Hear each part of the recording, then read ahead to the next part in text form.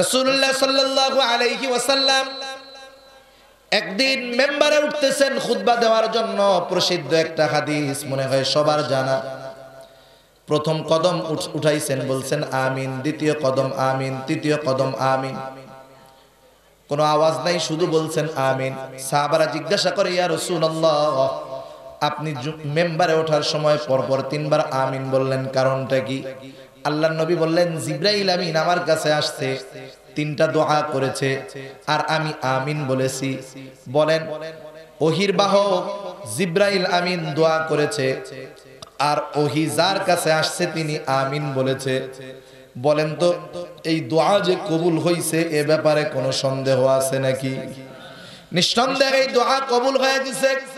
এই তিনটি দোয়ার একটি দোয়া হলো জিব্রাইল আমিন এসে বলতেছে, ইয়া রাসূলুল্লাহ, কোন ব্যক্তি তার মা বাবাকে বার্ধক্য অবস্থায় পেল, উভয়কে অথবা একজনকে। কিন্তু তাদের সন্তুষ্টি অর্জনের মাধ্যমে জান্নাত কামাই করতে পারল না। ওই ব্যক্তি ধ্বংস হয়ে যাক। আল্লাহ নবী বললেন, আমিন। সাথে সাথে আরশের মালিক এই দোয়া যে কবুল করে নিয়েছেন, কোনো সন্দেহ নাই।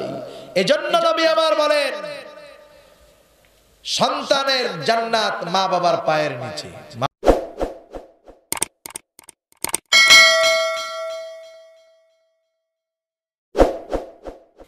বিসমিল্লাহির রহমান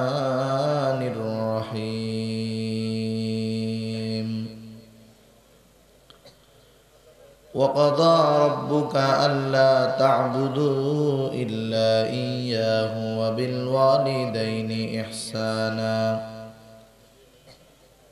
إما يبلغن عندك الكبر أحدهما أو كلاهما فلا تقل لهما أف فلا تقل لهما أف ولا تنهرهما. وقل لهما قولا كريما. واخفض لهما جناح الذل من الرحمة. وقل رب ارحمهما كما ربياني صغيرا.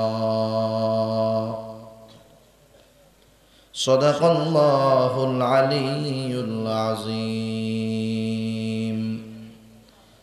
মোহাব্বতের সাথে সবাই দুরুদ শরীফ পাঠ করি আল্লাহুম্মা সাল্লি আলা মুহাম্মদ وعلى آل محمد كما صليت على إبراهيم وعلى آل إبراهيم إنك حميد مجيد اللهم بارك على محمد وعلى آل محمد كما باركت على إبراهيم وعلى آل إبراهيم. لا إله إلا الله.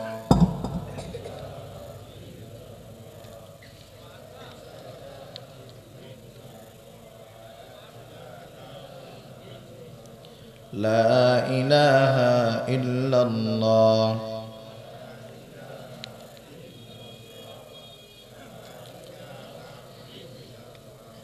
لا إله إلا الله محمد رسول الله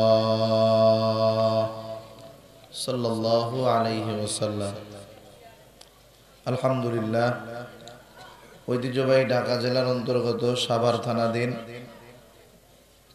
রাজফুলবাড়িয়া বাইতুল মামুর জামে মসজিদ ও যুব সমাজের উদ্যোগে আয়োজিত আজকের এই ওয়াজ ও দুয়ার মাহফিলের সম্মানিত শ্রদ্ধেয় সভাপতি। আমন্ত্রিত ওলামায়ে কেরাম, সামনে উপস্থিত মুরব্বিয়ানে কেরাম, সমবয়সী যুবক বন্ধু, স্নেহের ছোট ভাই এবং পর্দার অন্তরালে অবস্থানরতা সম্মানিত শ্রদ্ধা মা বোন। দয়াময় আল্লাহ রব্বুল আলমিনের দরবারে অগণিত শকর যে মহান মালিক আমাদের হায়াতে বরকত দিয়ে সুস্থ রেখে এতক্ষণ পর্যন্ত ওলামা ইকরামের জবান থেকে বহুত দামি কথা শ্রবণ করবার, আমাকেও আপনাদের খেদমতে কিছু দিনই কথা পেশ করবার লক্ষ্যে যে মহান মালিক সুস্থ অবস্থায় এখানে আসার তৌফিক দিয়েছেন, সেই মালিককে খুশি করার জন্য মোহাব্বতের সাথে জবান খুলে অন্তর থেকে আমরা একবার কালিমাত শুকর পাঠ করি, আলহামদুলিল্লাহ। অগণিত দুরুদ সালাম সৈয়দুল আম্বিয়া, আশরাফুল আম্বিয়া খাদামুল আম্বিয়া বিশ্বনবী শেষ নবী, শ্রেষ্ঠ নবী মোহাম্মদুর রসুল্লাহ সাল্লাল্লাহু আলাইহি ওসাল্লামের প্রতি।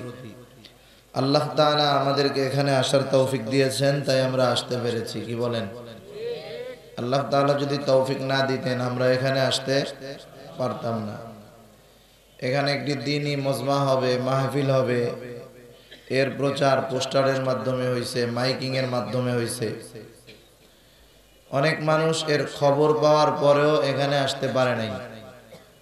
অনেকে নিয়ত করছে কিন্তু আসতে পারে নাই। অনেকে নিয়ত করে নাই, তাও আল্লাহ তাআলা নিয়ে আসছেন। হয়তো এমনও আছে, ঠিক না? আল্লাহ তাআলা চেয়েছেন বিদায় আসা গেছে।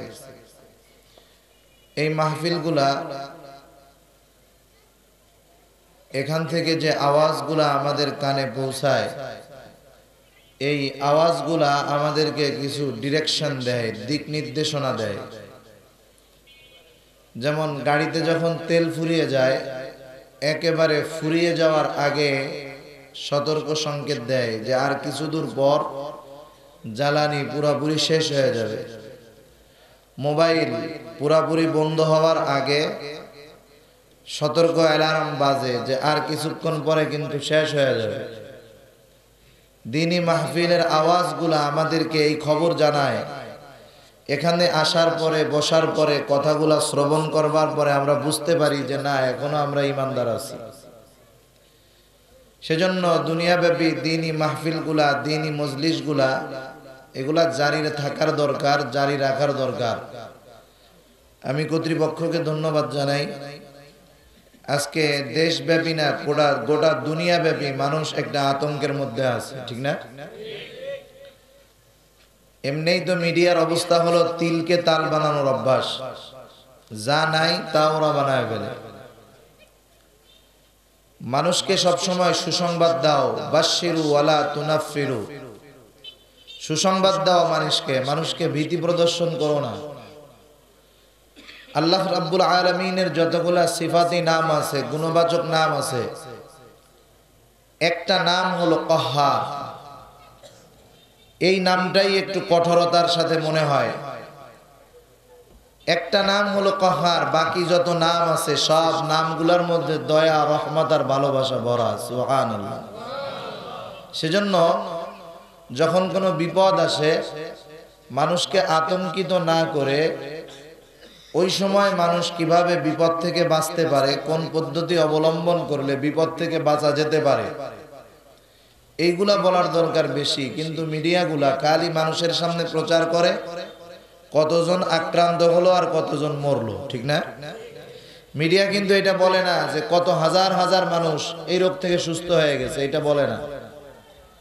এক লক্ষ মানুষ যদি আক্রান্ত হয় পঁচানব্বই হাজারের উপরে মানুষ সুস্থ হইতেছে, আলহামদুলিল্লাহ। এটা কিন্তু বলে না। এই মানুষ সুস্থ হইতেছে, এই খবরগুলা যদি আমাদের কানে একটু বেশি পৌঁছাইতো, মানুষরা এতটা আতঙ্কিত হতো না। পাশাপাশি কি করলে এটার থেকে বেঁচে থাকা যায়, এটা বিজ্ঞানের আলোকে, ধর্মের আলোকে, মানুষের মাঝে কথাগুলা যদি পৌঁছিয়ে দেওয়া যাইতো, মানুষ বিষয়টা নিয়ে আতঙ্কিত হতো না। তা যাই হোক, এই সময়টা দেশব্যাপী, গোটা দুনিয়া ব্যাপী একটা আতঙ্ক চলতেছে। বাংলাদেশের কত জায়গায় এই করোনা ভাইরাসকে কেন্দ্র করে আগের থেকেই প্রোগ্রাম বন্ধ, আমিও তো চিন্তা করছি, এখানে হয় না না হয় আল্লাহ জানে। তারপরেও আলহামদুলিল্লাহ তাদের একান্ত প্রচেষ্টা, আল্লাহ তালার তৌফিকে একটি দিনই মজমা আয়োজন করার সুযোগ হয়েছে। লাভ কি হবে, কিছু আলোচনা হবে, হয়তো আমরা আমল করতেও পারি, নাও পারি। কিন্তু সব মানুষগুলো একসাথে থেকে আল্লাহ তাআলার কাছে যদি একটু পানার চাইতে পারি, কারও সিলায় যদি আমাদের দোয়াগুলা কবুল হয়, আশা করা যায়, এটাই আমাদের কামিয়াবির জন্য কারণ হতে পারে কি পারে না। তা যাই হোক, এই মাহফিলগুলা দামি মাহফিল, সেজন্য এখানে মানুষের বেশি বেশি আসার দরকার। এখানে আসার কারণে মানুষের দিনই কিছু কথা শোনার পরে ইমানটা একটু চাকচিক্য হয়।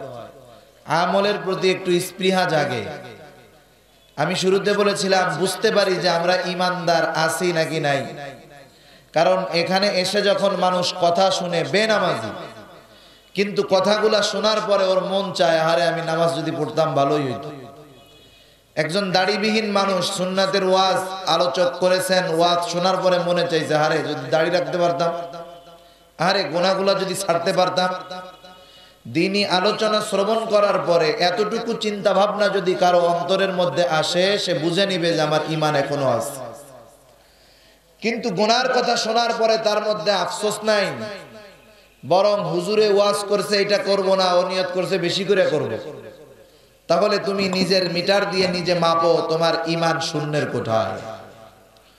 সেজন্য এই মাহফিলগুলা দরকার আছে না নাই?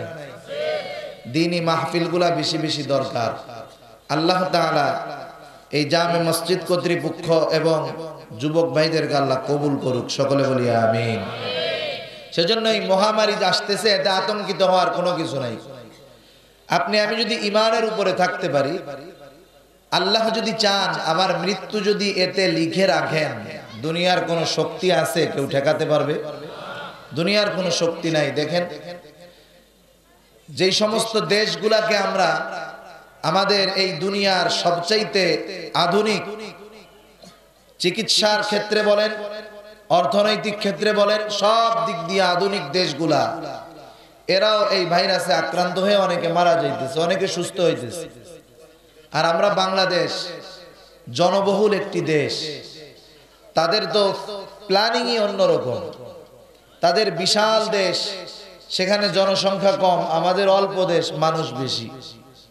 আমরা ইচ্ছা করলেও জনসমাগম এড়ায় চলতে পারব না। কারণ আমাদের দেশের সব মানুষের গাড়ি নাই। যে লোকাল বাস ছাড়া তাদের চলবে, উপায় আছে? জনসমাগম এড়ায় চলা আমাদের জন্য কঠিন। বাজারগুলা যদি বন্ধ করে দেয়, মানুষ না খেয়ে মারা যাবে। কর্মস্থলে যদি যাওয়া বন্ধ হয়ে যায়, না খেয়ে মারা যাবে। সেজন্য অনেক কিছু ত্যাগ করা আমাদের সম্ভব, অসম্ভব। কিন্তু কিছু জিনিস ধরা আমাদের জন্য সম্ভব। যেমন আমরা যারা নামাজ পড়ি না, আমরা যদি নামাজ শুরু করি, কোনো অসুবিধা হবে? এতে আরও কি হবে? করোনা ভাইরাসের জন্য যখন বলল যে মাস্ক ব্যবহার করার কথা, একজনের হাসি থেকে বা কাশি থেকে আর একজনের মধ্যে প্রবেশ করতে পারে। মানুষ কতটা সতর্ক? সবাই মাস্ক কেনা শুরু করছে, এখন বাজারে মাস্ক নাই। হকাররা এক টাকা, দুই টাকা পিস বিক্রি করতে করতে মুখ দিয়ে ফেনা উঠায় পাবলিক কিনে না। এখন ওই এক টাকার জিনিস একশো টাকা দিয়েও মানুষ কিনে, ঠিক না? নাই কোনো জায়গায়। যে কোনো দিন হাত ধুইতো না, সেও হ্যান্ড ওয়াশ কেনার জন্য তৈয়ার। দেখলাম কোম্পানি দুইশো টাকারটা নতুন স্টিকার লাগাই দিছে তিনশো টাকা। এটাও এক প্রকার গজব। বিভিন্ন দেশে মানুষ অসুস্থ হয়। বিভিন্ন বড় বড় কোম্পানি পণ্যের দাম কমায় আর আমরা যখন বিপদে পড়ি, আমাদের উপরে ঠাসা মারে আবার। ঠিক না? অবস্থা জানি কীরকম? পাটা পুতার গুতাগুতি, মধ্যে রসুন, পেঁয়াজের অবস্থা খারাপ। আমরা পাবলিকের অবস্থা হলো এই। উপরে, নিচে, দুই দিক দিয়ে আমাদের যাতা। পকেটের টাকা যাবে আপনার। ব্যাংকে টাকা নাই, কারেন্ট বিল বাড়বে আমার আপনার। ব্যাংকে টাকা নাই, কারেন্ট বিল আমার আপনার বাড়বে। ব্যাংকে টাকা নাই, গাড়ি ভাড়া আমার আপনার বাড়বে। অবস্থা কি? পাবলিক, আমরা একটা চিপার মধ্যে আছি, তাই না? সেজন্য আমাদের নামাজ ধরার দরকার। তাতে লাভ কি? করোনা ভাইরাসে চিকিৎসা বিশেষজ্ঞরা জানালেন যে এতে করে হাত, মুখ এগুলা পরিষ্কার রাখতে হবে বারবার। কিন্তু যেই লোকটা পাঁচ শক্ত নামাজ পড়ে, মিনিমাম তার ছয়বার এগুলা ধোয়া হয়। কয়বার? পাঁচবার নামাজের সময়, একবার গোসলের সময়। আবার যদি আর একটু ধর্মীয় অনুশাসন মেনে চলার চেষ্টা আমরা করি, রসুল্লাহ সাল আলহি ওসাল্লামের হাদিসের মধ্যে আসছে ও সর্ব অবস্থায় অজুর হালতে থাকা। আরেকটা বর্ণনার মধ্যে আসছে, যেই মানুষেরা সর্ব অবস্থায় অজুর হালতে থাকে, ফিরিস্তারা তার জন্য রহমতের দোয়া করে আমি যদি সর্ব অবস্থায় অজু হালতে থাকতে চাই, একটু বায়ু ছুটে গেলে অজু করে আসলাম।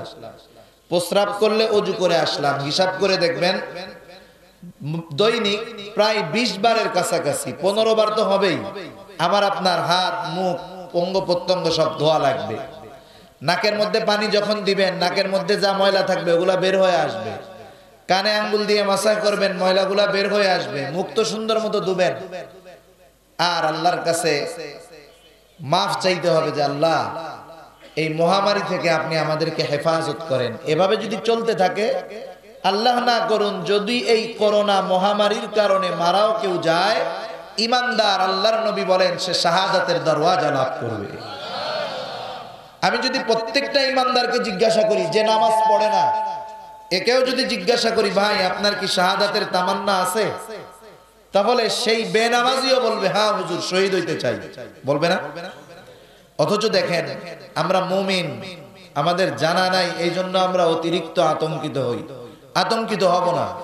কারণ আল্লাহ তাআলা যদি এর দ্বারা আমার মৌত লেখে রাখেন, দুনিয়ার কোনো ডাক্তার ঠেকাতে পারবে না। করোনা ভাইরাসের কারণে দৈনিক যত মানুষ মারা যাইতেছে, আপনাদের কি জানা আছে? এর চাইতে বেশি মানুষ প্রতিদিন হার্ট অ্যাটাক করে মারা যায়, প্রতিদিন। এখন পর্যন্ত সাড়ে চার হাজারের মতো মানুষ মারা গেছে, কম বেশি হবে। গোটা দুনিয়ায়। কিন্তু গোটা দুনিয়ায় দৈনিক দশ হাজারের উপরে মানুষ স্ট্রোক করে মারা যায়। তাহলে এই হার্ট অ্যাটাকরে আপনি, আমি ভয় পাই না কেন? কয়েক মাস ধরে পাঁচ হাজার লোক মারা গেছে, আমরা খুব টেনশনে আছি। আমরা টেনশন করব না। আমরা আল্লাহর করুণা চাবো, আল্লাহর কাছে প্রার্থনা করব যে আল্লাহ, আপনি আমাদেরকে এই বিপদ থেকে বাঁচান। কারণ এই বিপদটা শুধু যে একটা মানুষের উপরে বিপদ আনবে তা না। এই বিপদের কারণে হয়তো গোটা দুনিয়ার অর্থনীতি ভেঙে পড়বে। আমাদের মতো একটা দেশ যতই অন্যান্য নেতা নেত্রীরা লাফাক না কেন যে আমরা দরিদ্র সীমার উপরে, যেই বেটা গার্মেন্টসে চাকরি করে ও বুঝে। মাস শেষে প্রায় বারো ঘণ্টা, চোদ্দ ঘণ্টা, আঠারো ঘণ্টা পরিশ্রম করার পর যে বেতন পায়, ঢাকা শহরে ভাড়া দিয়ে খেয়ে বাড়িতে দুই হাজার টাকা পাঠাইতে পারে না। ঠিক কিনা বলেন? এটা ওনরা বড্ডবডবি ছাড়তে পারে। কিন্তু বাস্তবতা, যারা পরিশ্রম করে, এরা বুঝে যে এরা কত কষ্টে আছে, ঠিক কিনা? সেজন্য কষ্টটা সর্বশেষ আমাদেরই হবে। কারণ আমরা তো ব্যাংকের টাকা লুটপাট করতে পারি নাই। আমরা তো উন্নতির নামে দুর্নীতি করতে পারি নাই। অবস্থাটা আমাদের খারাপ হবে, সেজন্য আমাদের আল্লাহর কাছে কান্না করতে হবে বেশি। আল্লাহ, আপনি গজব থেকে হেফাজত করেন। একটা মাস যদি বাংলাদেশের সব প্রতিষ্ঠানগুলো বন্ধ থাকে, পৃথিবীর অনেক দেশে বন্ধ করে দিয়েছে। একটা গার্মেন্টস ফ্যাক্টরি যদি দুইটা মাস বন্ধ থাকে, যারা গার্মেন্টসে চাকরি করেন, চিন্তা করেন তো কি হবে? বাজার যদি দুই, তিন মাস বন্ধ থাকে, স্বাভাবিক নিত্য প্রয়োজনীয় জিনিসের দাম কোথায় যাবে? দশ টাকার মাস্ক যে দেশে একশো টাকা হতে পারে এদেশে তখন তিরিশ টাকার চাউল তিনশো টাকা হবে না। এটা কীভাবে আমরা বলতে পারি? ঠিক কিনা বলেন? সেজন্য এটাও কিন্তু এক ধরনের গজব। ওই গজবটা জানি আমাদের উপরে না আসে। এজন্য আমরা সময় থাকতে নিজেদেরকে পরিবর্তন করে, তাওবা, ইস্তেগফার করে মসজিদ মুখী হব, আমরা নামাজ ছাড়বো না। আর আল্লাহর কাছে দোয়া করব, ইস্তেগফারের আমল করব। এর উপরে থাকি ইনশাআল্লাহ, আল্লাহ এই বিপদ থেকে আমাদের এই দেশকে হেফাজত করবেন। কারণ দুনিয়ায় অনেক বড় বড় বিপদ আমাদের দেশের দিকে এসেও আল্লাহর রহমতে আল্লাহ ঘুরায় নিছে। আল্লাহ রহমতে আল্লাহ কি করছে? ঘুরায় নিছে। যখন বুলবুল আসে, বুলবুল, কি এক আতঙ্কিত অবস্থা মানুষের। মানুষেরা চিন্তিত হয়ে গেছে। আবহাওয়া অফিস বলে দিয়েছে, এই ঝড় গোটা বাংলাদেশের উপর দিয়ে গেলে বিগত শতাব্দীতে যা ক্ষতি হয় নাই, এক ঝড়ে এত ক্ষতি হয়ে যাবে। আপনারা, আমরা তো বাহিরে ঘুরি, কিন্তু এই বড় বড় মাদ্রাসাগুলা, এখানে হাজার হাজার তালিবুল ইলম, উলামায়ে কেরাম, বুজুর্গানে দিন, আল্লাহ তাআলার কাছে চোখের পানি ছেড়ে দৈনিক কান্নাকাটি করে, আল্লাহ, এই গজবগুলা থেকে আমাদেরকে বাঁচান। কারণ দুনিয়ার যেই প্রতিষ্ঠানগুলো আছে, মাদ্রাসা, দিনী শিক্ষা প্রতিষ্ঠান, অধিকাংশ ক্ষেত্রে এই গরিব মানুষের অল্প স্বল্প দানে বাংলাদেশের অনেক প্রতিষ্ঠান চলে, ঠিক না? এজন্য এনারা দোয়া করে। যেমন বুলবুল যখন হলো, তখন আমি চট্টগ্রাম খোঁজ নিলাম, হাটহাজারি মাদ্রাসায়, পটিয়া মাদ্রাসায় ওস্তাদ ছাত্ররা মিলে আল্লাহর কাছে রোনাজারি করতেছে। সন্ধ্যার পরে দশ নম্বর সতর্ক সংকেত, মহাবিপদ সংকেত চট্টগ্রামে। রাতের মধ্যে আল্লাহ তাআলা ওইটারে ঘুরাই আর একদিকে পাঠায় দিছে। সেজন্য আল্লাহ তাআলার গোসা, এই কারণে আল্লাহ মাঝে মধ্যে গজব দেন বান্দাকে। কারণ আমরা আল্লাহর নাফারমানি করি। আল্লাহ তাআলা যত নেহামত আমাদেরকে দিয়েছেন, আমরা নেহামতের না নাশুকরি করি। কি করি? নাশুকরি করি। যেমন আমার এই যে গোটা বডিটা আছে, এই গোটা বডির সুস্থতা এটা কার তরফ থেকে আসছে? বান্দার অন্যতম নেহামত হলো বান্দা সুস্থতা লাভ যখন করে এই বান্দার উচিত সুস্থতার নেয়ামতে আল্লাহর কৃতজ্ঞতা প্রকাশ করা। বান্দা অর্থনৈতিকভাবে সচ্ছল আছে। বান্দার উচিত দান সদকার মাধ্যমে এই নেয়ামতের শুক্রিয়া আদায় করা। সুস্থ আছে, নামাজের মাধ্যমে আল্লাহ তাআলার শুক্রিয়া আদায় করা। আমরা তো আল্লাহর নেহামত শুধু খাই, নেহামত শুধু গ্রহণ করি, কিন্তু নেয়ামতের নাশুকরি করি বেশি। আল্লাহর নেহামতের শুক্রিয়া তো আদায় করি না বরং এই নিয়ামতগুলার অপব্যবহারও করি। করি কি করি না বলেন? করি। এজন্য আল্লাহ একটু বেজার হয়। এজন্য আল্লাহ বলেন যখরল ফাসাদু ফিল বাররি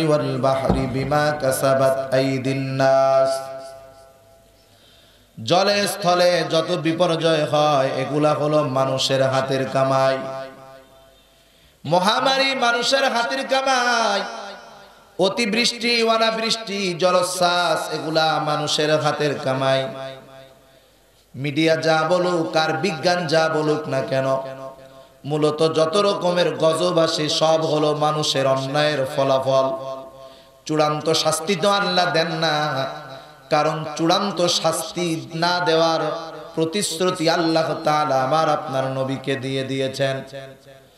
আগের জামানার উম্মতেরা নাফারমানির মাত্রা যদি বেশি হয়ে যাইত, আল্লাহ রব্বুল আলামিন গজব দিয়া সমূলে ধ্বংস করে দিতেন।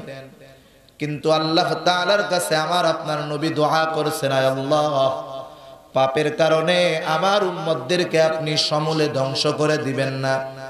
আল্লাহ তাআলা গজব দেন, কিন্তু সমূলে ধ্বংস করে দেন না। কিছু ক্ষতির মাধ্যমে আল্লাহ তাআলা আমাদেরকে সতর্ক করে দেন, বান্দা। এখনও তাওবার দরজা খোলা আছে, তোমারও হায়াত আছে। তোমার ব্যাপারে চূড়ান্ত ফয়সালা আসার আগে তওবা করো। আমি আল্লাহ রব্বুল আলামিনের দিকে আবার ফিরে আসো। এজন্য এই গজব দিয়ে দিয়ে আমাদেরকে সতর্ক করে দেন, যাতে আমরা তাওবা করে আল্লাহর দিকে ফিরে যাই। বলেন তো, আমরা যদি গোটা দুনিয়ার মানুষ আল্লাহর নাফারমানি করি, তাতে কি আল্লাহর সম্মান একটুও কমবে? গোটা দুনিয়ার মানুষ যদি আল্লাহর দরবারে সেজদায় পড়ে থাকে, বলেন তো এর কারণে আল্লাহর যে শান মান আছে, বিন্দু পরিমাণ বাড়বে নাকি? কারণ আল্লাহ তাআলা আমার আপনার সেজদারও মুহতাজ নয়। আল্লাহ তাআলা আমার আপনার নাফারমানি দ্বারা তার কোনো ক্ষতি হবে না। বরং আমি আপনি যদি নাফারমানি করি, ক্ষতিটাও আমার। আমি আপনি যদি আল্লাহর দাসত্ব করি, গোলামি করি, লাভটাও আমার। এরপরেও আল্লাহ চান যে বান্দা ফিরে আসুক। কেন চান? কারণ আল্লাহ রব্বুল আলামিন অনেক দয়া মায়া করে মানুষকে সৃষ্টি করেছেন। রসুল্লাহ সাল্লাল্লাহু আলাইহি ওয়াসাল্লাম বলেন, কোন মানুষ যদি গোনার পথ থেকে নেকের পথে ফিরে আসে গোনা করার পরে তাওবা করে আল্লাহর দিকে ফিরে আসে, আল্লাহ কেমন খুশি হয়। একটা হাদিসের মধ্যে রসুল্লাহ সাল্লাল্লাহু আলাইহি ওয়াসাল্লাম সাহাবাদেরকে বলতেছেন, ও সাহাবিরা, শোনো, কোন একজন ব্যক্তি দীর্ঘ সফরে বের হলো, মরুর পথে উটের উপরে তার খাবার এবং পানি, কারণ মরু পথের একমাত্র যানবাহন হলো উট। উট এমন একটা প্রাণী যে শুধু পানি পান করে না, পানি পান করার পরে সে তার গলের গলার মধ্যে আল্লাহ তাআলা একটা রিজার্ভ টাঙ্কি দিয়ে দিয়েছে। ওই জায়গায় অনেক দিনের পান করার জন্য পানি সে জমা করে রেখে দিতে পারে। এই জন্য মরুভূমির মধ্যে উট লম্বা সফরের জন্য হলো উত্তম বাহন। উটকে বলা হয় মরুর জাহাজ। একটা লোক খাবার এবং পানি নিয়ে উটের পিঠে লম্বা সফরে রওনা হলো। মরুভূমির ভিতরে পথিক চলতেছে, চলতে চলতে দুপুর বেলায় পথিক ক্লান্ত হয়ে গেল। এইবার সে একটা গাছের ছায়ায় শুয়া শোয়ার জন্য, বিশ্রাম নেওয়ার জন্য তৈয়ার নিল। গাছের সাথে উটটাকে বাঁধল এবং নিজে গাছের ছায়ার আড়ালের মধ্যে শুয়ে পড়ল। দীর্ঘ সময় বিশ্রাম নেওয়ার পর বিকাল বেলার দিকে ঘুম ভেঙল, ঘুম যখন ভেঙে গেল। ঘুম থেকে উঠে দেখে গাছের সাথে যেই উটটা বেঁধে রাখছিল যেই উটের সাথে খাবার ছিল, পানি ছিল, উটটা নাই, হারায় গেছে। লোকটা হতাশ হয়ে তালাশ করা শুরু করল। ডানে বামে যেদিকেই যায়, দেখে কোথাও উটটা নাই। একটা সময় সূর্য পশ্চিম আকাশে ঢলে পড়ল, ডুবে যাবে যাবে ভাব। এই লোকটা ক্লান্ত দেহ। বলতো, ও যখন এই উটকে খুঁজে না পাইল, তার মনের অবস্থা কেমন? সাহাবারা বলে, ইয়া রাসূলুল্লাহ এই লোকটা তো মরুভূমির মধ্যে মৃত্যুর জন্য অপেক্ষা করতে থাকবে। কারণ রাতের আধারে মরুভূমির মধ্যে হিংস্র প্রাণীরা বের হবে। ও হয়তো কোনো হিংস্র প্রাণীর খাবার হবে। না হয় মরুভূমির ওই উত্তাপ রোদের মধ্যে খাবার পানির অভাবে মৃত্যুবরণ করবে। ওর মতো দুখিয়ার তখন দুনিয়ার মধ্যে কেউ নাই, কারণ সাক্ষাৎ মৃত্যুর জন্য অপেক্ষা করতেছে। একেবারে ও নিশ্চিত হয়ে গেল যে আমার মরণ ছাড়া আর কোনো পথ নাই। আমার পরিবারের খবর আর আমার কাছে পৌঁছাবে না, আমার মৃত্যুর খবরও পরিবারের কাছে যাবে না।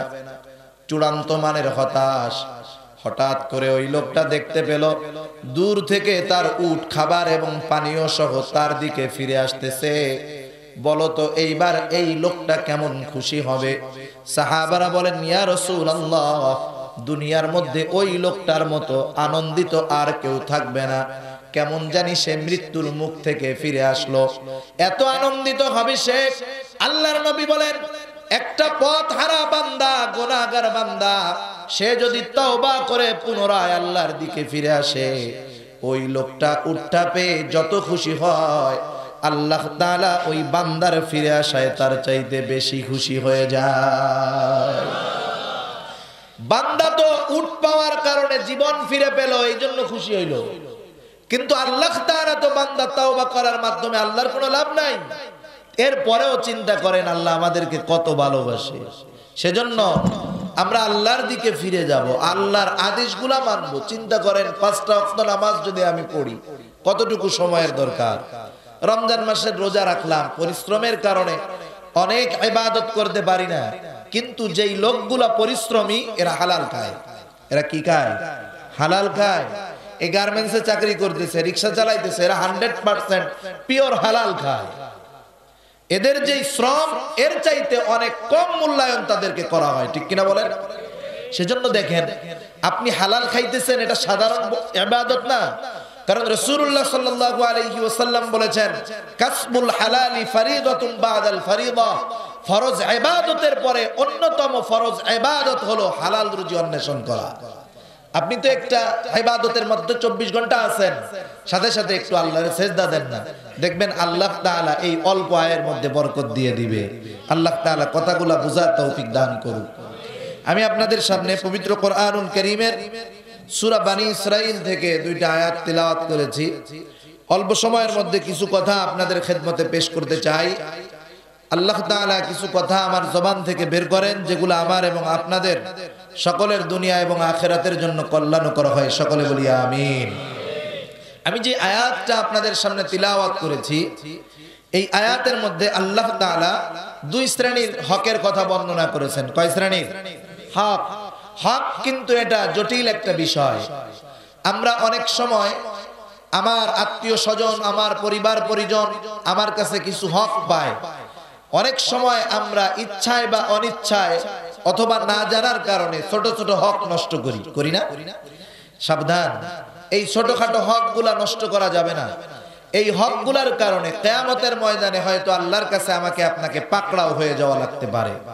তা যাই হোক, সর্বপ্রথম আমি যে হকের কথা কোরআন থেকে তিলাওয়াত করেছি? এটা হলো আল্লাহর হক। কার হক? জোরে বলেন, কার হক? আল্লাহর হক। আল্লাহ তাআলা বলেন وقضى ربك ألا تعبدوا إلا إياه আল্লাহ রাব্বুল আলামিন বলেন কদা রব্বুক তোমার রব চূড়ান্ত ফয়সালা দিয়ে দিয়েছে চূড়ান্ত ফয়সালা তার মানে এরপরে আর কোনো ফয়সালা দেওয়ার অথবা এই সিদ্ধান্তের রদ বদলের কোনো সুযোগ নাই দুনিয়ার আইনের সিস্টেমটা কি দেখেন জজ কোর্ট যদি একটা রায় দেয়, একটা লোকের ফাঁসির ফাঁসি কার্যকর কার্যকর করার রায় দিল, ফাঁসির রায় দিল জজ কোর্ট বলেন তো জজ কোর্টের এই রায়টা চূড়ান্ত নাকি আপিল করার সুযোগ আছে? আপিল করার সুযোগ আছে। এইবার ফাঁসির দণ্ডে দণ্ডিত আসামি আপিল করল হাইকোর্টের মধ্যে। হাইকোর্ট এই রায়কে আমলে নিয়ে পরবর্তীতে সে রায় দিল যে হ্যাঁ ফাঁসির রায় কার্যকর করতে হবে। তার এই বিচারের বিচার হলো তার ফাঁসি, এটা ঠিক থাকবে, এটা হলো তার রায়, ফাঁসির রায়। বলেন তো, জজ কোর্টের রায়, এরপরে হলো হাইকোর্টের রায়। এই রায়টাও চূড়ান্ত নয়, এরপরেও আর এক জায়গায় আপিল করার সুযোগ আছে না নাই? এরপরে ফাঁসির আসামি সে রাষ্ট্রপতির কাছে আবেদন করল। রাষ্ট্রপিতার অন্তরের মধ্যে মায়া হলো। হাইকোর্টে জজ কোর্টে যেই লোকটা ফাঁসির আসামি ছিল, যদি চায় রাষ্ট্রপতি তাকে বেকসুর খালাসও দিয়ে দিতে পারে। তাহলে বাংলাদেশের যেই আইন, বাংলাদেশের আইনের চূড়ান্ত সিদ্ধান্ত নেওয়ার ক্ষমতা নাই। আছে? নাই তো। দেখেন না, একজন জামির নাম মঞ্জুর হয়েছে বিচারককে স্ট্যান্ড রিলিজ দিয়ে এরপরে তার জামিন দেওয়া হয়েছে। এক সময় শুনতাম যে হাকিম নড়বে, তবে হুকুম নড়বে না। এখন সেটা নাই। এখন হাকিম যতগুলা পাল্টানোর আগে পাল্টাবো। হুকুম যেটা আমাদের মতো সেটা রায় কার্যকর করে ছাড়বো। ঠিক কিনা বলে এই যদি অবস্থা হয়, তাহলে ন্যায় বিচার কঠিন হয়ে যাবে। ন্যায় বিচার কি হবে? কঠিন হবে। আর যখন কোন মাজলুম ন্যায় বিচার পাবে না, অচিরে আল্লাহর গজব চলে আসবে। যখন কোন মাজলুম ন্যায় বিচার পায় না, তখন কার গজব আসে? আল্লাহর গজব। কেন? কারণ রাসূলুল্লাহ সাল্লাল্লাহু আলাইহি ওয়াসাল্লাম বলছেন, মাজলুমের বদদোয়াকে ভয় করো, কারণ মাজলুমের বদদোয়া আর আল্লাহর মধ্যে কোনো পর্দা থাকে না। ডাইরেক্টের দোয়া আল্লাহর কাছে কবুল হয়ে যায়। কারণ কোন মাজলুম যখন সব জায়গায় ঘোরার পরে বিচার পায় না, তখন ও চোখের পানি ছেড়ে আল্লাহর কাছে বলে, আল্লাহ, এই দুনিয়ার মানুষ বড় খারাপ এদের কাছে নাই বিচার পাওয়া যাবে না, এটা তোমার কাছে বিচার দিয়া রাখলাম, কেয়ামতে এর বিচার করে দিও। এই কথাটা কিন্তু বড়ই কঠোর, সেজন্য মাজলুমের বদদোয়া থেকে বাঁচতে হবে। যাই হোক, আল্লাহ রব্বুল আলামিন সিদ্ধান্ত দিলেন, এই সিদ্ধান্ত পরিবর্তন পরিবর্তন করার সুযোগ দুনিয়ার কেউ নাই, আল্লাহ বলেন যেই সিদ্ধান্ত দিলেন, এক নাম্বার সিদ্ধান্ত। আল্লাহ তাআলা বলেন আল্লাহ তা'বুদু ইল্লা ইয়া। এক নাম্বার সিদ্ধান্ত যে তোমরা একমাত্র আল্লাহ তাআলার ইবাদত করবা। কার ইবাদত? আমরা দাসত্ব করব কার? গোলামি করব কার? এখন দেখেন, এই গোলামি যদি আমি আল্লাহর করি, আমার লাভ না লস আল্লাহর গোলাম যে হয়, তার দাম আল্লাহ বাড়ায় দেয়। দুনিয়ার মানুষের গোলামি করলে সেখানে সম্মান কমতে পারে, কিন্তু আল্লাহর গোলামি করলে দাম বাড়ে না, কমে। বিশ্বনবী রহমাতুল্লিল আলামিন নিজেকে আল্লাহ তাআলার গোলাম বলেছেন, আল্লাহর নবী বলেছেন, আমি হলাম আল্লাহ তাআলার গোলাম। দুনিয়ার মধ্যেও যদি কেউ কোনো মানুষের গোলামি করার পর এই গোলামির হকটা যথাযথভাবে আদায় করতে পারে দুনিয়ার মানুষ, ওই গোলামটাকে ভালোবাসে। অবাধ্য গোলামকে কেউ ভালোবাসে না, বাধ্য গোলামকে ভালোবাসে। একটা ঘটনা শোনায় আপনাদের। সুলতান মাহমুদ গজনবী রহমাতুল্লাহ আলাই অনেকে হয়তো নাম শুনেছেন, অনেকে হয়তো শুনেন নাই। উনি ইসলামের ইতিহাসে অন্যতম একজন বিজেতা যুদ্ধের গোলাম আয়াজ। বাদশাহ সব সময় তাকে রাখত। বাদশার অন্দর মহলে কেউ ঢুকতে পারতো না। বাহিরের একমাত্র আয়াজকে তিনি ঢুকাইতেন ভিতরে। মন্ত্রী উজির নাজির সম্মানিত ব্যক্তিরা কানাঘুষা করে, হায় রে, বাদশাহ এত বড় একজন সম্মানিত ব্যক্তি। কিন্তু সর্ব অবস্থায় উনি ওনার সাথে একজন গোলামকে রাখে। আমাদেরকে কি বাদশাহ চোখে দেখে না? আমরা বাদশার এত বড় বড় দায়িত্ব নিয়ে থাকি। আমরা এত বড় বড় সম্মানিত ঘরের সন্তান, আমাদেরকে বাদশা রাখে না, গোলামকে সাথে রাখে। মানুষে সি সি করে। একটা সময় এই কথাগুলা বাদশার কানের মধ্যে পৌঁছায় গেল। বাদশাহ একদিন রাজ দরবারে বসে আছে। রাজকোষ থেকে দামি একটা হীরার টুকরা বাদশাহ সুলতান মাহমুদ আনলেন। হীরাটা অনেক দামি। হীরার গুণগান বর্ণনা করে বাদশাহ এবার মন্ত্রীকে ডাক দিয়ে বলে, মন্ত্রী, এদিকে আসো। এই দামি হীরাটা হাতে নাও, হাতে নিল, এবার আসার দিয়া ভেঙে ফেলো। এত দামি একটা হীরা ভেঙে ফেলবে মন্ত্রী, আদেশ করল বাদশাহ। মন্ত্রী বলে, না বাদশাহ, না না, আমি এই কাজটা করতে পারব না। আমি আমার, আপনার এই কথা একটা আষাঢ় দিয়া এত বড় সম্পদের ক্ষতি আমি করতে পারব না, এত বড় নালায়ক আমি না। এই যে হীরা থাকল বাদশাহ মন্ত্রীর আচরণে খুশি হয়ে গেল। মন্ত্রীকে বাদশাহ কিছু পুরস্কার দিল। মন্ত্রী গিয়া বসে পড়ল চেয়ারে। এবার উজিরকে ডাক দিছে। উজিরকে বলে, তুমি ভাঙো। বলেন তো, মন্ত্রী যেই কাজ করে নাই, উজিরে সেই কাজ করবে? ও তো তেল ডাবল মারবে, ঠিক না? ও বলে, কি বলেন মন্ত্রী? ক্ষমা চাই। রাষ্ট্রের এত বড় ক্ষতি আমি করতে পারব না। আমি মাপ চাই। মন্ত্রীর আচরণ উজির একই রকম আচরণ ভাঙল না। এইবার বাদশাহ বলে, যাও, তোমাকেও পুরস্কৃত করলাম। খুশি হয়ে উজির তার জায়গায় বসে পড়ল। এইবার সেনাপতিকে ডাক দিয়ে বলে, সেনাপতি, এই হীরার টুকরার দাম জানো বলে হ্যাঁ জানি ভেঙে ফেলো। সেনাপতি বলে, বাদশাহ নামদার, আপনি কি বলেন?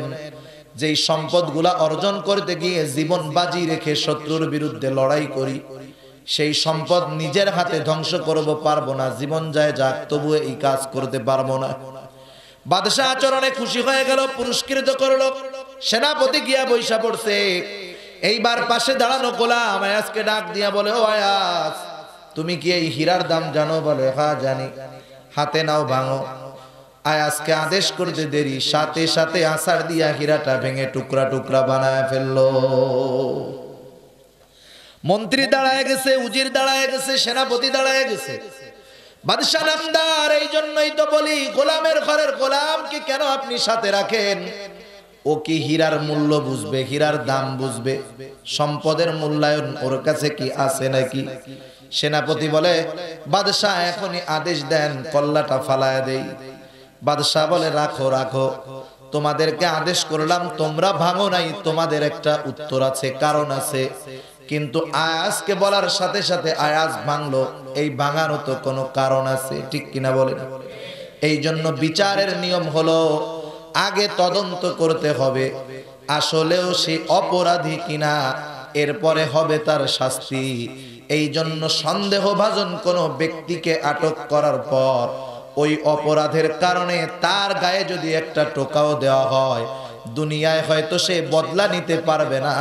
কেয়ামতের দিন কিন্তু এই বদলার ছাড় দেওয়া হবে না। আমাদের দেশ সহ দুনিয়ার মধ্যে এই অবস্থা, ঠিক না? আপনাকে বা আমাকে সন্দেহভাজন ধরছে, ধরতেই পারে। সন্দেহ লাগবে, আমাকে ধরবে চেক করবে, সব আমার জানবে, এটা রাষ্ট্রের অধিকার আছে। ঠিক কিনা বলেন? কিন্তু আমি অপরাধী কিনা, এটা প্রমাণিত হওয়ার আগে আমার গায়ে টাচ করার অধিকার রাষ্ট্রও দেয় না, ইসলামও দেয় না। ঠিক কিনা বলেন? কিন্তু আমাদের দেশে কি হয়? দৈরেই গজারি রাটির আরে পিডানি এরপরে দেখা গেল লোকটা বেকসুর খালাস। অন্যায়ের সাথে এর কোনো সম্পর্কই নাই। যেই লোকটা এই আঘাতগুলা করল, তাকে কি পুনরায় ওই আঘাত ফিরায় দেওয়ার সুযোগ আছে? এগুলা আমাদের জন্য জমা থাকে। কেয়ামতের ময়দানে এগুলো উসুল করা হবে। সেজন্য বিচারের নিয়ম কি? একটা মানুষ যতক্ষণ পর্যন্ত না দোষী প্রমাণিত হবে, ততক্ষণ পর্যন্ত তাকে শাস্তি দেওয়া যাবে না। তা যাই হোক, আয়াজকে জিজ্ঞাসা করা হলো, আয়াজ, এরা যে এই কাজটা করল না, তুমি কেন করলা? আয়াজ বলে, বাদশাহ নামদার, আমি হলাম আপনার গোলাম। আপনার মন্ত্রীর কাছে, আপনার উজিরের কাছে, আপনার সেনাপতির কাছে, আপনার আদেশের চাইতে সম্পদের দাম বেশি। কিন্তু আমি গোলাম আয়াজের কাছে এই সম্পদ কেন গোটা দুনিয়ার চাইতে আমার মনিবের আদেশের দাম আমার কাছে বেশি?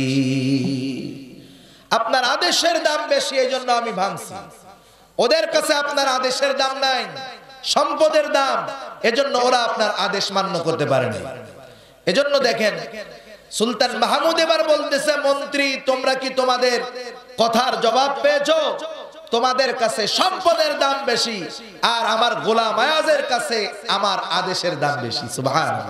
এজন্যই তো আমি গোলাম না, বন্ধু বানায় ফেলছি, বন্ধু বানায় ফেলছি। কোন ব্যক্তি যখন তার ব্যক্তিগত জীবন এমন হয়ে যায়, আল্লাহ রাব্বুল আলামিনের গোলামিকে যে যখন সর্বপ্রথম সবচাইতে বেশি প্রাধান্য দেয়, আল্লাহর আদেশকে বেশি প্রাধান্য দেয়, আল্লাহর আদেশ মান্য করে ওই ব্যক্তি আল্লাহ তালার গোলাম পরিচয় থাকে ঠিক। কিন্তু আল্লাহ রব্বুল আলামিন তাকে আল্লাহ তাআলা তার বন্ধু বানায় নেয়। এজন্য আল্লাহ তালার যে সিদ্ধান্ত যে ইবাদত হবে কার? গোলামি কার হবে? কারণ আল্লাহ তালাই আমার আপনার ইবাদত পাওয়ার উপযুক্ত দুনিয়ার মধ্যে আর কেউ নাই যারা আমার আপনার ইবাদত পেতে পারে, ঠিক কিনা বলেন? এটা যুক্তি বলে, এটা নেয়ামত বলে। কারণ আমি আপনি দুনিয়ার একটা সময় অতিবাহিত হয়েছে বহুকাল যে এ দুনিয়ায় আমরা ছিলাম না। যার বয়স পঞ্চান্ন বছর। উনি কি ছাপ্পান্ন বছর আগে দুনিয়ায় ছিল নাকি? যার বয়স ছয় বছর, সাত বছর আগে দুনিয়ায় ছিল না। যেই সন্তানটার জন্য আজকে আমি আপনি জীবন দিতে তৈয়ার, এই সন্তানটা পাঁচ বছর বয়স, ছয় বছর আগে দুনিয়ায় ছিল না। তার মানে প্রতিটা মানুষ তার জীবনের বিরাট একটা সময় অতিবাহিত করেছে, সে উল্লেখ করার মতো কিছুই ছিল না। ওই অনুল্লেখিত অবস্থা থেকে অস্তিত্ব অবস্থা থেকে আল্লাহ আমাকে আপনাকে সৃষ্টি করেছেন। যেই মালিক আমাকে সৃষ্টি করলেন, অবশ্যই সেই মালিক আমার একমাত্র উপযুক্ত। ঠিক কিনা বলেন?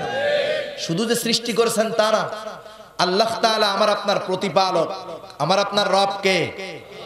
আল্লাহ। আল্লাহ তাআলা বান্দাকে এমন কিছু দিয়ে এমন জায়গায় লালন পালন করেন, দুনিয়ার কোনো বিজ্ঞান সেটা পারে না, দুনিয়ার কোনো মানুষ সেটা পারে না, দুনিয়ার কোনো মানুষের সেইভাবে লালন পালন করার ক্ষমতা নাই। যেমন মারপেটের মধ্যে যখন আমরা জীবিত হই, রুহ যখন আসে, যেটার প্রাণ আছে ওর জন্য খাবারের দরকার। একটা গাছ ওর জীবন আছে। গাছের খাবার হলো মাটির রস আর হলো সূর্যের আলো। আপনি যদি চিন্তা করেন যে না, ওরে শুধুমাত্র সূর্যের আলো খাইতে দিব, মাটির রস খাইতে দিব না, শিকড় দেই কাইটা গাছ থাকবে না, মরবে। কয়েকদিনের মধ্যে এটা জ্বালানি হয়ে যাবে। যেই গাছটা সূর্যের আলো খায়, নিচের রস খায়, আপনি চিন্তা করলেন, ওরে এমন ভাবে ঢেকে দিব যাতে করে ও সূর্যের আলো একেবারে নাই পায়। দিলেন একটা ছোট গাছ, বড় বালতি দিয়ে ঢাইকা। কয়েকদিন পরে এটা কি হবে? থাকবে না, মরবে। মরবে তার মানে প্রাণ যার আছে, এর খাবারের দরকার। কোন প্রাণীর কোন ধরনের খাবার, এটা নির্ধারণ করছেন কে? এখন আমি আপনি যখন মায়ের পেটের মধ্যে আসছি, মার পেটের মধ্যে আসার পরে যখন আল্লাহ তাআলা আমাকে রূহ দিলেন, প্রাণ দিলেন, খাবারের দরকার ছিল কি ছিল না? ছিল তো? খাইলাম। ব্যবস্থা করছে কে? আমার মা, আমার বাবা। আমরা ছিলাম তরল পানির মধ্যে। দুনিয়ার কোন বাহাদুর আছে, পানির মধ্যে এমনি থেকে অক্সিজেন নিবে, আছে কেউ? আমরা মার পেটের মধ্যে ছিলাম, পানির মধ্যে ছিলাম। অথচ আল্লাহ তাআলা ওই জায়গায় অক্সিজেন পৌঁছায় দিছে, সুবহানাল্লাহ। খাবারের ব্যবস্থা করছে, এখন খাইছেন আগামুতা হয়েছে না?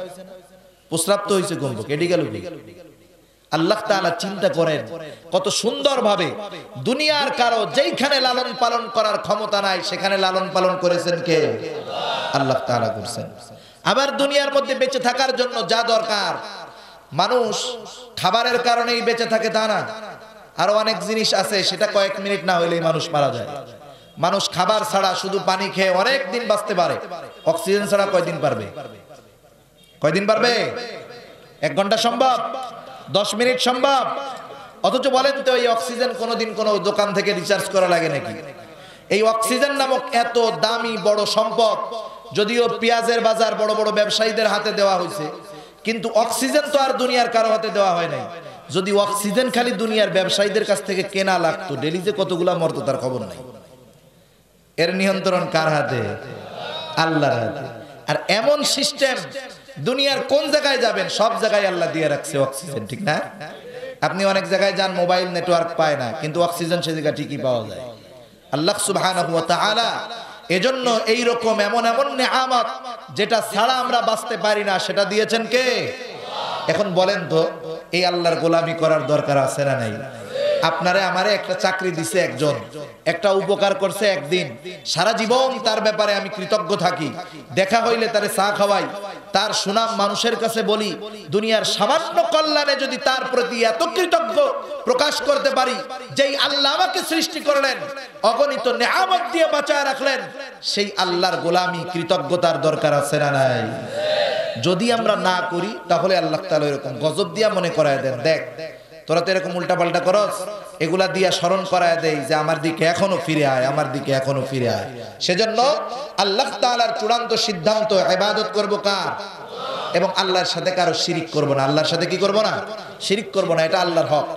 হযরত আনাস রাদিয়াল্লাহু তাআলা আনহু মতে বর্ণিত রসুল্লাহ সাল্লাল্লাহু আলাইহি ওয়াসাল্লাম বলেন, আল্লাহর হক হলো মানুষেরা তার ইবাদত করবে, তার সাথে কাউকে শিরিক করবে না। এটা হলো আল্লাহর হক। কারণ শিরিক করলে আল্লাহ রব্বুল আলামিন সবচাইতে বেশি বেজার হয়।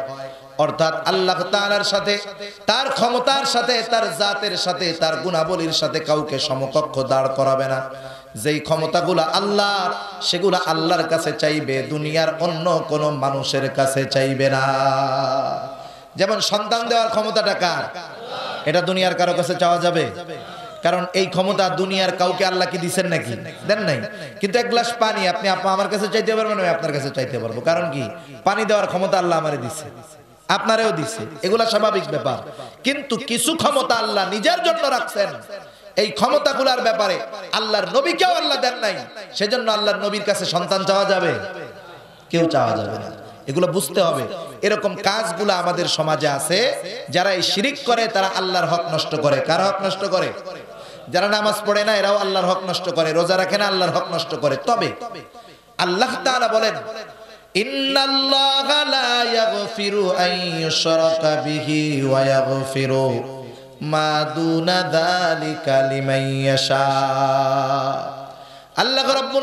বলেন, আল্লাহ তাআলা যদি চান, সব হক আল্লাহ মাফ করে দিবেন, সব গুনাহ আল্লাহ তাআলা মাফ করে দিবেন, কিন্তু শিরকের গুনাহ আল্লাহ মাফ করবে না। কেউ যদি তাওবা ছাড়া মারা যায়, জাহান্নাম তার ঠিকানা। এই জন্য আমরা কখনো আল্লাহর সাথে শিরিক করব না। আল্লাহ তাআলার ইবাদত করব। এই দুটা হলো আল্লাহর হক। এর পরপরই আল্লাহ রাব্বুল আলামিন বান্দার হক আল্লাহ তাআলা বর্ণনা করতেছেন বান্দার হক বর্ণনা করতে গিয়ে সর্বপ্রথম আল্লাহ রব্বুল আলামিন মা বাবার হকের কথা বর্ণনা করেছে। কার হক? মা বাবার হক। সূরা নিসা। এই সুরা নিসার মধ্যে আল্লাহ তাআলা এক জায়গায় বলেন ওয়া আবুদুল্লাহ ওয়ালা তুশরিকু বিহি শাইআ ওয়া বিল ওয়ালিদাইনি ইহসানা। একটা বিষয়ের গুরুত্ব, একটা মানুষের গুরুত্ব বোঝার জন্য সবকিছু মুখে বলা লাগে না। কিছু বিষয়ের অবস্থানের কারণেও বোঝা যায়। প্রধানমন্ত্রীর পাশে যেই চেয়ারটা থাকবে, ওই চেয়ারে যেই লোকটা বসতে পারবে অটোমেটিক বুঝতে হবে এই মজলিসের মধ্যে প্রধানমন্ত্রীর পরে সবচাইতে সম্মানিত ব্যক্তি যিনি, তিনি প্রধানমন্ত্রীর ডাইন পাশে বসছে। কথা বুঝেন নাই? অবস্থান দেখেই নির্ণয় করা যায় যে এই লোকটার পাওয়ার কেমন, ঠিক কিনা বলেন? এই এলাকার ছোটখাটো কোনো নেতারে উনি পাশে বসাবেন না। বসাবেন? বসাবেন যে এই মজলিসের মধ্যে, ওনার পরে সবচাইতে সম্মানিত যেই ব্যক্তি, তাকে বসাবেন। মুফাসসিরিন কেরাম বলেন মাতা পিতার হকের ব্যাপার কতটা গুরুত্বপূর্ণ, এটা বোঝার জন্য এতটুকুই যথেষ্ট যে আল্লাহ তার ইবাদত করার পর পর মা বাবার হকের কথা বর্ণনা করেছেন। সুবহানাল্লাহ। সেজন্য মা বাবার হক আদায় করব। মা বাবার হক, এটা যদিও মা বাবার হক, কিন্তু এটা বান্দার হকের মধ্যে সামিল। কোন সন্তান যদি মা বাবার হক আদায় না করে, আল্লাহ রব্বুল আলামিন যেই হকের কথা বলে দিয়েছেন সেটা যদি আদায় না করে, কেয়ামতের ময়দানে ওই সন্তানটা হয়তো আল্লাহর দরবারে বান্দার হক নষ্টকারীদের কাতারে দাঁড়ায় যেতে পারে। রসুল্লাহ সাল্লাল্লাহু আলাইহি ওয়াসাল্লাম একদিন সাহাবাদেরকে বলতেছেন, এই, তোমরা কি জানো? কেয়ামতের ময়দানে সবচাইতে নিঃস্ব ব্যক্তিটাকে বান্দার হকের গুরুত্ব বর্ণনা করতে গিয়ে রসুল্লাহ সাল্লাল্লাহু আলাইহি বলতেছেন, সাহাবাদের, সবাই বলে, আল্লাহ এবং তার রসুল ভালো জানেন। কেয়ামতের ময়দানে সবচাইতে নিঃস্ব ব্যক্তিকে আল্লাহর নবী বলেন, শুনো, কেয়ামতের দিন একটা মানুষ পাহাড় পরিমাণ নেক নিয়া আল্লাহর সামনে উপস্থিত হবে। অনেক নেকি তার ভান্ডারে নেকি দেখা ও নিশ্চিন্ত থাকবে আজকে আমার জান্নাতে যাওয়াটা কে ঠেকায়?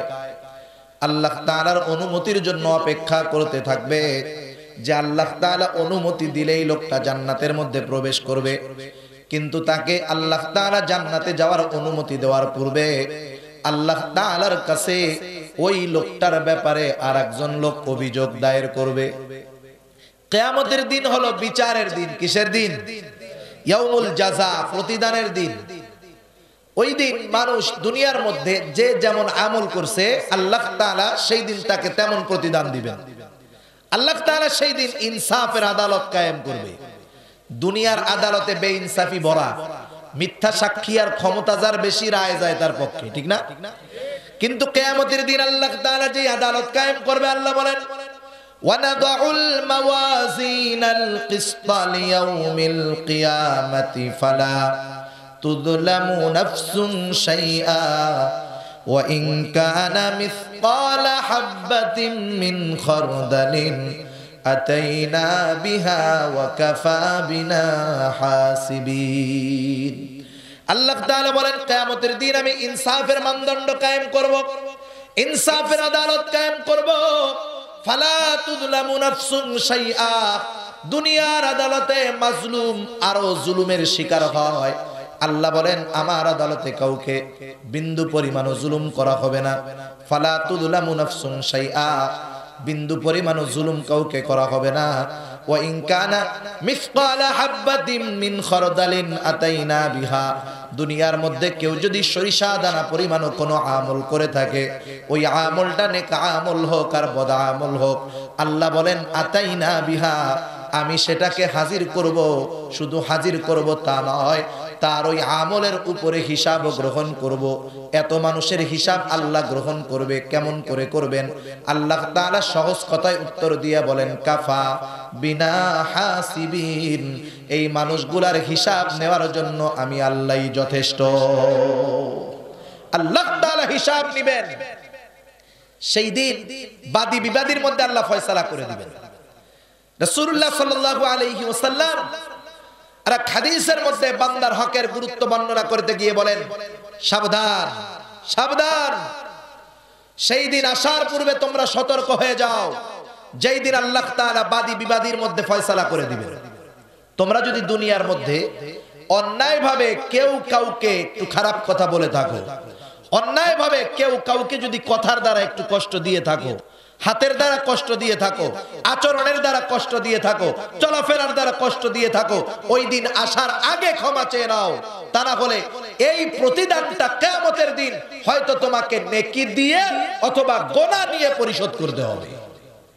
এবার আমাদের অবস্থা চিন্তা করেন, আমরা তো প্রতিনিয়ত প্রতিদিন চলতে ফিরতে কত মানুষকে অন্যায়ভাবে বকাঝকা দেই কি দেই না? জোরে বলেন, দেই কি দেই না? কতজনের সাথে খারাপ আচরণ করি? যুবক মানুষ শক্তি আছে আজকে?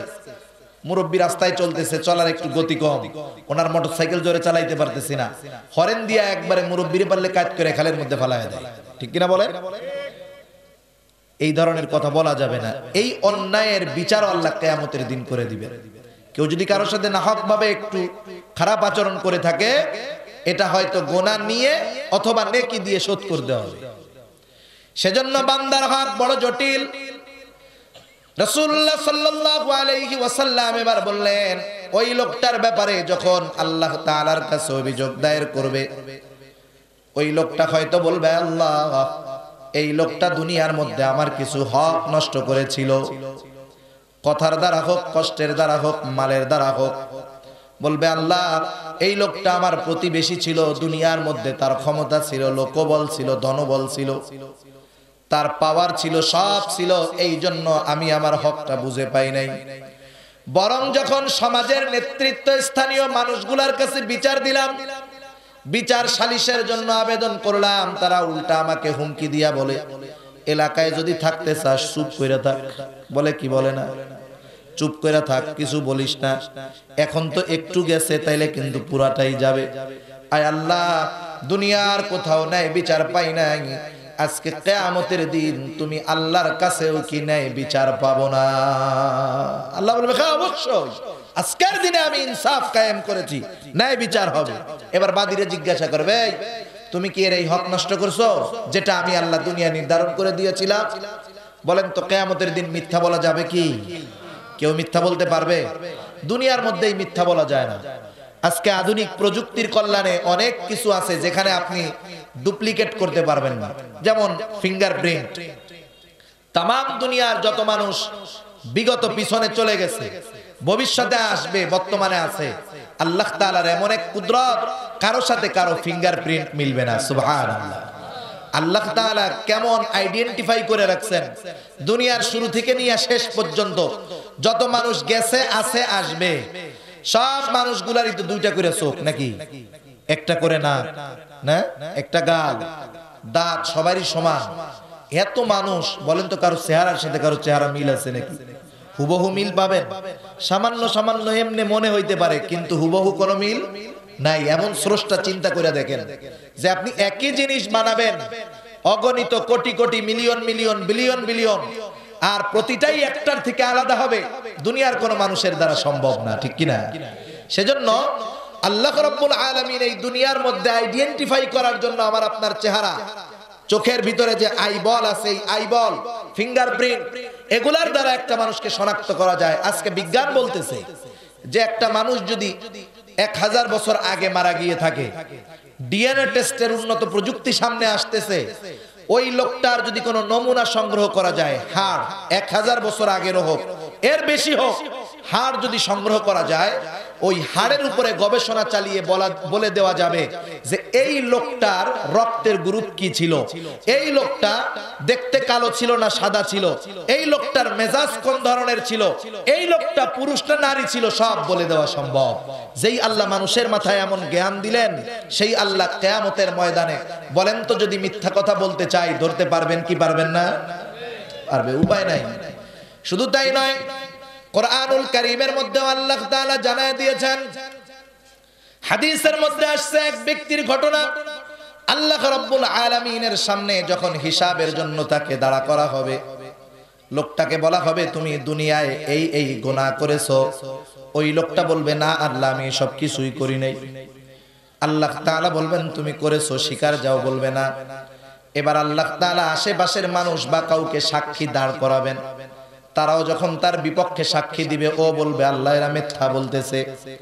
তাহলে তুমি কি হলে বিশ্বাস করবা? ওই লোকটা তখন বলবে, আল্লাহ, আমি যাদের মাধ্যমে অন্যায় করেছি, তাদেরকে দিয়ে সাক্ষী দেওয়ান সে তো হাত, পা, অঙ্গ প্রত্যঙ্গর মাধ্যমে অন্যায় করেছে। আল্লাহ তাআলা হাতকে আদেশ করবে, ওই হাত এইবার তার অন্যায়ের বিপক্ষে সাক্ষী দিবে। পাকে বলবে, পা সাক্ষী দিবে। আল্লাহ তাআলা তো কোরআনুল কারীমের মধ্যে এটা জানায় দিয়েছেন। আল্লাহ বলেন, আল ইয়াউমা নাখতিমু আইদিহিম। وتشهد أرجلهم بما كانوا يكسبون আল্লাহ তাআলা বলেন আল ইয়াউম আজকের এই দিন অর্থাৎ কিয়ামতের দিন নাখতিমু আলা আফওয়াহিহিম আমি তাদের মুখের বাক শক্তিকে রুদ্ধ করে দিব তাদের বাক শক্তি রুদ্ধ হয়ে যাবে কথা বলতে পারবে না মোহর মেরে দেওয়া হবে মুখের উপরে শিলগালা করে দেওয়া হবে আল্লাহ বলেন ওয়াতুকাল্লিমুনা আইদিহিম আমার সাথে কথা বলবে তাদের হাত। বিমা কানু সাক্ষী দিবে তাদের পা দুনিয়ার মধ্যে তারা কি উপার্জন করেছে। হাত পা দিয়ে কি উপার্জন করেছে আল্লাহর কাছে এগুলো বলে দিবে। শুধু তাই নয়, আল্লাহ তাআলা আর এক জায়গায় বলেন, শাহিদা আলাইহিম সামউহুম ওয়া আবসারুহুম। ওয়া জুলুদুহুম বিমা কানু আল্লাহ তাআলা বলেন, সাক্ষী দিবে তাদের কান, সাক্ষী দিবে তাদের চোখ, সাক্ষী দিবে তাদের চামড়া। স্বাভাবিক তো এই অঙ্গ প্রত্যঙ্গগুলা দিয়েই আমরা গুনাহ করি, না হয় হাত দিয়ে করি, না হয় পা দিয়ে করি, না হয় চোখ দিয়া করি, না হয় চামড়া দিয়া করি, না হয় এই চামড়ার জিব্বা দিয়া করি, ঠিক কিনা বলেন? এই সবগুলা আমার আপনার বিপক্ষে সাক্ষী হিসাবে দাঁড়ায় যাবে। সুতরাং সেই দিন মিথ্যা বলার কোনো সুযোগ নেই। লোকটা এবার বলবে, হা আল্লাহ, হা। দুনিয়ার মধ্যে আমি এই লোকটার প্রতি বেশি ছিলাম, জোরপূর্বক তার কিছু জমি দখল দিয়েছিলাম। এবার আল্লাহ তাআলা বলবে, দাও তাহলে ওর হকটা আদায় করে দাও। পাহাড় পরিমাণ নেকের মালিক, ওই বান্দার হক নষ্ট করে নেওয়ালা লোকটা বলবে, আল্লাহ, এ তো দুনিয়া না দুনিয়া না। দুনিয়া যদি হইতো, এক শতক জোর করে নিয়েছি, প্রয়োজনে একশো শতক দিতাম। এইবার ওই বাদি বলবে, আল্লাহ, ঠিক এটা তো দুনিয়া না। দুনিয়ায় ওর জমির প্রয়োজন ছিল, সম্পদের লোভ ছিল, আমার কাছ থেকে জোর করে সেটা দখল দিয়েছে। আল্লাহ, আজকে আমার তো জমির প্রয়োজন নাই। দুনিয়ায় ওর যেটা দরকার আমার কাছে ছিল, আজকে আমার যেটা দরকার ওর কাছে আছে। আল্লাহ, আমার প্রয়োজনীয় সম্পদ দিয়ে হকটা মিটায় দেওয়া হোক। কিসের মাধ্যমে? বলবে, নেকের মাধ্যমে হকটা মিটায় দেওয়া হোক। আল্লাহ তাআলা এইবার পাহাড় পরিমাণ নেকের মালিকের কাছ থেকে নেকি নিয়া ওই বাদির হকটা মিটায় দিবে। বলেন তো, যেই লোকগুলার জুলুম করা অভ্যাস ওইগুলো কি একজনের উপরে করে না অনেকজনের উপরে করে? অনেকজনের উপরে। এইবার আল্লাহ রব্বুল আলামিন যখন ওই লোকটার ব্যাপারে ফয়সালা দিবেন, অন্যান্য যারা মাজলুম ছিল, তারাও এই লোকটার ব্যাপারে আল্লাহর কাছে অভিযোগ দায়ের করবে। আল্লাহ রব্বুল আলামিন একে একে সবার হকগুলা নেকের দ্বারা আদায় করে দিবেন। একটা সময় পাহাড় পরিমাণ নেকের মালিকের নেক শেষ। এখন আর নেকি নাই, কিন্তু অভিযোগকারী আরও আছে। আল্লাহ বলবেন, হক আদায় করো। লোকটা বলবে, আল্লাহ, নেক দিতে দিতে আমার নেক শেষ হয়ে গেছে। বাদিরা বলবে, তাতে কি অসুবিধা নাই, নেকি লাগবে না। আমাদের কান্দে গোনা আছে, গোনাগুলা নাও। এইবার পাহাড় পরিমাণ নেকের মালিক বান্দার হক আদায় করতে গিয়া মানুষের গোনা নিতে নিতে পাহাড় পরিমাণ গোনার মালিক হয়ে যাবে। আল্লাহর নবী বলেন, এই লোকটার মতো কেয়ামতের ময়দানে নিঃস্ব আর কেউ নাই, যে পাহাড় পরিমাণ নেকি নিয়ে কেয়ামতের ময়দানে উঠবে। আর বান্দার হক নষ্ট করার কারণে মুহূর্তের ভিতরে ওনার পাহাড়ের মালিক হয়ে যাবে। দুনিয়ায় নেক আমল যত থাক, আপনারা টেনশন করেন না। যারা কোটি কোটি টাকার মালিক, আমরা তো অনেক সময় আফসোস করি, হায় রে। এই বেটা বুড়াকালে এতগুলা ইন্ডাস্ট্রির মালিক ছিল। আজকে দশ পনেরো বার হজ করে আজি সাহেব হয়ে গেছে, মসজিদ নিজে বানাইয়া, ইমাম বেতন দিয়া মুয়াজ্জিন রাইকা মসজিদ বানায় খালি মসজিদের মধ্যেই পড়ে থাকে। আল্লাহ মনে হয় জান্নাতুল লাইগা রাখছে। না না। ওরে চব্বিশ ঘণ্টা ইবাদত করায় কেন জানেন? ও তো ওই যে জুয়ান কালে মানুষের হক নষ্ট করছে। সব দেওয়া লাগবে না? আল্লাহ ওরে দিয়ে দুনিয়া ইনকাম করাইয়া আখেরাতে কবে দে এইবার ঠিক কিনা বলেন? সেজন্য টেনশনের কোনো কারণ নাই। বান্দার হক যারা নষ্ট করবে, তাদের অবস্থা এরকম হয়ে যাবে, কেয়ামতের ময়দানে ধরা পড়ে যাবে। এখন আপনি, আমি চিন্তা করতে পারি, হায়রে, দুনিয়ার মধ্যে যেই মা বাবা সন্তানের জন্য জীবন দিতে তৈরি ছিল, সেই মা বাবা কি কেয়ামতের ময়দানে তাদের হকের জন্য সন্তানকে ঠেকায় দিবে নাকি? অবশ্যই ঠেকায় দিবে। কারণ কেয়ামতের ভয়াবহ চিত্র কেমন? আল্লাহ রাব্বুল আলামিন পবিত্র কোরআনুল কারীমের মধ্যে জানায় দেন, কিয়ামতের অবস্থা তো এমন হবে। আল্লাহ বলেন, ইয়াউমা ইয়াফিরুল মারউ মিন আখিহি ওয়া উম্মিহি ওয়া আবিহি ওয়া সাহিবাতিহি ওয়া বানি। কিয়ামতের দিন ভাই তার ভাইয়ের থেকে পালাবে। ওয়া উম্মিহি ওয়া আবিহি তার পিতা মাতার থেকে পালাবে। সন্তান স্ত্রীর থেকে পালাবে। সেই দিন সবাই চিন্তা করবে, নিজের চিন্তা কেমনে নিজে বাঁচা যায়। কেউ কারও পরিচয় দিবে না, কারণ সকলেই চিন্তা করবে, না জানি পরিচয় দিলে আজকে আমার দ্বারা কোনো উপকৃত হতে, চাইতে পারে। সবার চিন্তা থাকবে, কেমন করে আরেকজনের কান্ধে পাড়া দিয়া নিজে নাজাত পাওয়া যায়। এই জন্য কোনো মা বাবাও যদি সন্তানের কাছে দুনিয়ায় কোনো হক পায় ওই মা বাবা যদি আল্লাহর আদালতে ঠেকে যায়, তাহলে সন্তানকে খুঁজে সন্তানের ওই হকের ব্যাপারে আল্লাহর কাছে অভিযোগ দায়ের করে সন্তানের আমল নামা থেকেও মা বাবা নেক কেড়ে নিয়ে যাবে। সেজন্য দুনিয়ার মায়ার কথা চিন্তা করে লাভ নাই যে দুনিয়ায় তো মা বাপরে বহুত কষ্ট দিছি। বুড়া কালে যতই কষ্ট দেই না কেন, মাপ চাইছি, সাথে সাথে মাফ করে দিছে। এটা তো ভিন্ন বিষয়। কিন্তু আমি যদি তাদের কাছে মাপ না চেয়ে মরি, তাদের হক আদায় না করে মরি, কেয়ামতের ময়দানে ওই মা বাবাও আমাকে ছাড়া ছাড় দিবে না। সন্তানও যদি মা বাবার কাছে হক পায়, সন্তানও মা বাবাকে ছেড়ে দিবে না। ঠিক কিনা বলি তফসিরে কাবিরের মধ্যে সম্ভবত আসছে। একটা লোক কেয়ামতের ময়দানে তার নেকি আর গোনার হিসাব হইতেছে। দুইটা সমান সমান হয়ে গেছে। নেকিও যা, গোনাও তা। তুমি জান্নাতে যাইতে পারব। ওর বেলা একটা নেকি, কোনো ব্যাপার নাকি? দুনিয়ার মধ্যে আমার কত বন্ধু বান্ধব ছিল, কত আত্মীয় স্বজন ছিল, পরিচিত মানুষ ছিল, আমি তাদের কাছে গেলেই আমার একটা নেকি দিয়া দিবে। আল্লাহ তারা বলবে, যাও, তুমি একটা নেকি নিয়ে আসো। লোকটা তো টেনশন ছাড়া একটা মাত্র নেকি, কোনো ব্যাপার? এবার বন্ধুদেরকে দেখবে, বন্ধুদের কাছে গিয়া বলবে হাই রে, দুনিয়ার কত সময় তোদের সাথে কাটাইছি? সন্ধ্যার পর থেকে নিয়ে গভীর রাত পর্যন্ত একই মজমায় কত গল্প, কত আড্ডা হয়েছে রে দোস্ত।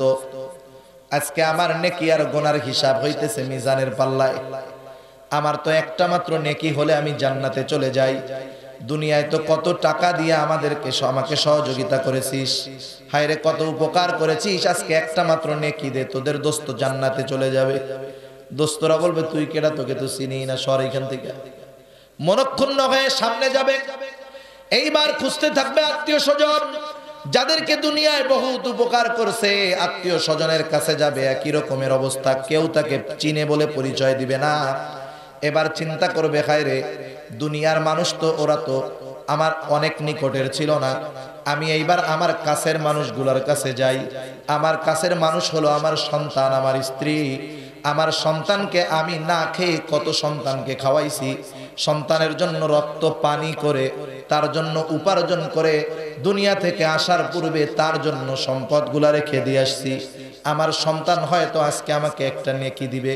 সন্তানের কাছে যাবে, সন্তান পিতাকে চিনবে না, স্ত্রীর কাছে যাবে, স্ত্রী স্বামীকে চিনবে না। এইবার বাবার কাছে যাবে, বাবা সন্তানের পরিচয় দিবে না। সর্বশেষ সর্বশেষ আস্থা হলো তার মায়ের উপর। চিন্তা করবে, যেই মা আমাকে দশ মাসের মতো পেটের মধ্যে রাখল, যেই মা আমাকে দুই বছর দুধ পান করালো যেই মা আমার জন্য তার জীবনের আরামটাকে হারাম করে দিল। আজকের এই কঠিন দিনে আমার মা হয়তো আমাকে একটা নেকি দিবে। এই আশায় যখন সে তার মায়ের কাছে যাবে, ওই মা তার মাতৃত্বকে অস্বীকার করবে। বলবে হ্যাঁ দুনিয়ায় আমার বিবাহ হয়েছিল ঠিক, কিন্তু ছেলে পেলে ছিল মনে নাই, আর তুমি আমার ছেলে, আমার এটা জানা নাই। যাও যাও যাও। মা সন্তানের উপকার করবে না। একটা নেকি দিয়া। তাহলে চিন্তা করতে পারেন, যেই মা সন্তানকে বিপদ থেকে কেয়ামতের ময়দানে বাঁচাবে না, সেই মা যদি সন্তানের কাছে কোনো হক পায়, মা ছেড়ে দিবে। জোরে বলেন, ছেড়ে দিবে। তাহলে যেই মানুষগুলা দুনিয়ার মোহে পড়ে, মা বাবার হক আদায় করে না, বরং তারা তো কেয়ামতে ক্ষতিগ্রস্ত হওয়ার রাস্তা বের করে ফেলতেছে। ঠিক কিনা বলেন? প্রতিটা মানুষ প্রথমে আখেরাতের চিন্তা যদি করে, হায় রে আখেরে তো ধরা খেয়ে যেতে হবে। আমার মা বাবা আমাকে ছাড় দিবে না। পরকালে আজাব থেকে বাঁচার জন্য হলেও মা বাবার হক আদায় করার দরকার আছে না নাই? এরপরে আসেন দুনিয়ার কথা। দুনিয়ায় সামাজিকতা, নীতি নৈতিকতা, মানবতা কি বলে? যেই মা আপনাকে আমাকে পেটে রাখল, যেই বাবা কষ্ট উপার্জিত সম্পদ দিয়ে আমাকে লালন পালন করল, এটা কমন সেন্স মানবতা বলে। সেই মা বাবা আমার আপনার কাছে এমনিতেই কিছু হক পায় কি পায় না? এটা তো কমন সেন্স এরপরেও আল্লাহ তাআলা গুরুত্ব সহকারে কোরআনুল কারীমের মধ্যে এক, দুই জায়গায় নয়, অনেক জায়গায় মা বাবার হকের কথা বর্ণনা করেছেন। আমি যে আয়াতগুলা তিলাওয়াত করেছি, সেগুলার মধ্য থেকে কথাগুলা বলেই আলোচনা শেষের দিকে যাব। এবার আল্লাহ তাআলা সেই মা বাবার হক আদায়ের ব্যাপারে গুরুত্ব দিয়ে বলেন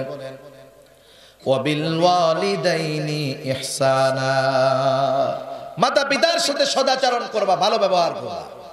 এখানে দুইটা পার্ট একটা পার্ট হলো, মা বাবা যখন উপার্জনক্ষম থাকেন, তারা উপার্জন করেন, তাদের শরীরে শক্তি থাকে।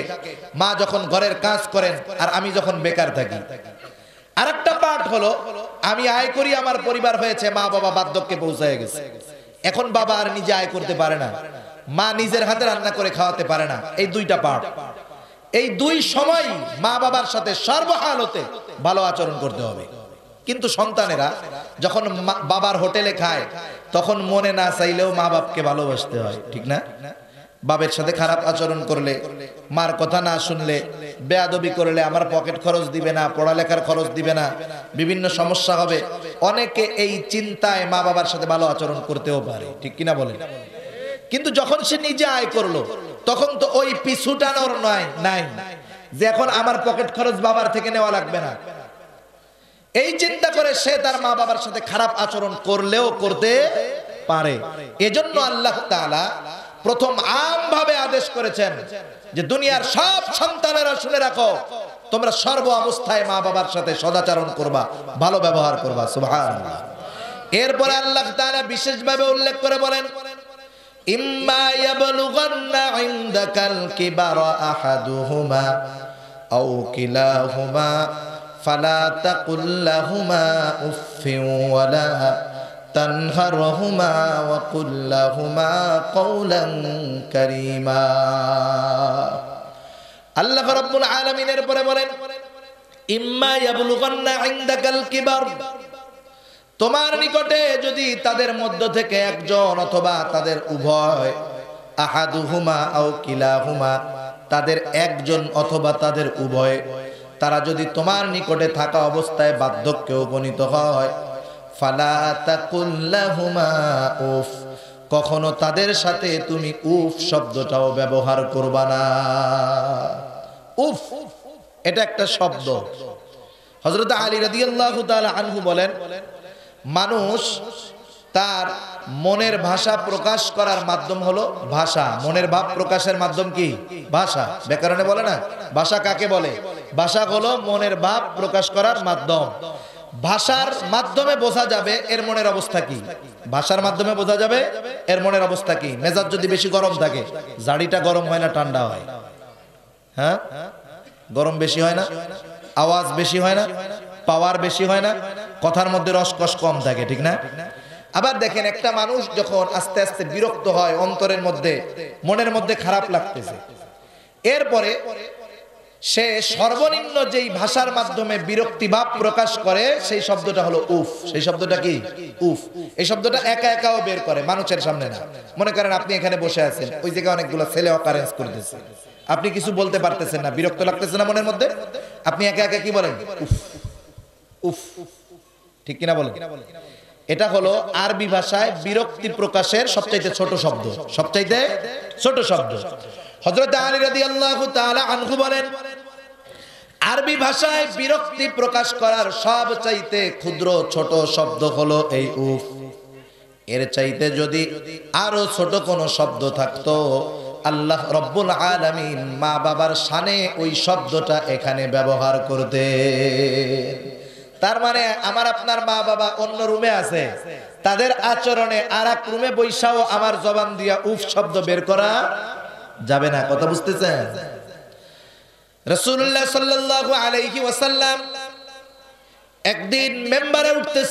দেওয়ার জন্য, প্রসিদ্ধ একটা মনে হয় সবার জানা। প্রথম কদম উঠ- উঠাইছেন, বলছেন আমিন, দ্বিতীয় কদম আমিন, তৃতীয় কদম আমিন। কোনো আওয়াজ নাই, শুধু বলছেন আমিন। সাহাবারা জিজ্ঞাসা করে, ইয়া রাসূলুল্লাহ, আপনি মেম্বারে ওঠার সময় পরপর তিনবার আমিন বললেন, কারণটা কি? আল্লাহ নবী বললেন, জিব্রাইল আমিন আমার কাছে আসছে, তিনটা দোয়া করেছে, আর আমি আমিন বলেছি। বলেন ওহির বাহক, জিব্রাইল আমিন দোয়া করেছে, আর ওহি যার কাছে আসছে, তিনি আমিন বলেছে। বলেন তো, এই দোয়া যে কবুল হইছে, এ ব্যাপারে কোনো সন্দেহ আছে নাকি? নিঃসন্দেহে এই দোয়া কবুল হয়ে গেছে। এই তিনটি দোয়ার একটি দোয়া হলো, জিব্রাইল আমিন এসে বলতেছে, ইয়া রাসূলুল্লাহ, কোন ব্যক্তি তার মা বাবাকে বার্ধক্য অবস্থায় পেল, উভয়কে অথবা একজনকে, কিন্তু তাদের সন্তুষ্টি অর্জনের মাধ্যমে জান্নাত কামাই করতে পারল না। ওই ব্যক্তি ধ্বংস হয়ে যাক। আল্লাহ নবী বললেন, আমিন। সাথে সাথে আরশের মালিক এই দোয়া যে কবুল করে নিয়েছেন কোনো সন্দেহ নাই। এজন্য নবী আবার বলেন, সন্তানের জান্নাত মা বাবার পায়ের নিচে। মা বাবার পায়ের নিচে সন্তানের কি? জান্নাত। এক সাহাবী আসছে, এসে জিজ্ঞাসা করি আর রাসূলুল্লাহ, আমার মা বাবা আমার জন্য কেমন? আল্লাহ নবী বলেন, হুমা জান্নাতু কাওয়া নারু তোমার মা বাবা হলো তোমার জন্য জান্নাত অথবা জাহান্নাম। তুমি যদি চাও তাদের সন্তুষ্টি অর্জনের মাধ্যমে জান্নাত কামাই করে নিতে পারো। আর তুমি যদি ব্যর্থ হও, তাদের অসন্তুষ্টির মাধ্যমে তুমি জাহান্নামে যেতে পারো।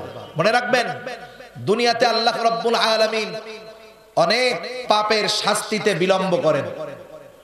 আমি আপনি নামাজ পড়ি না, রোজা রাখি না, হজ করি না জাকাত দিই না, এগুলার শাস্তি আল্লাহ বিলম্ব করে দিবেন।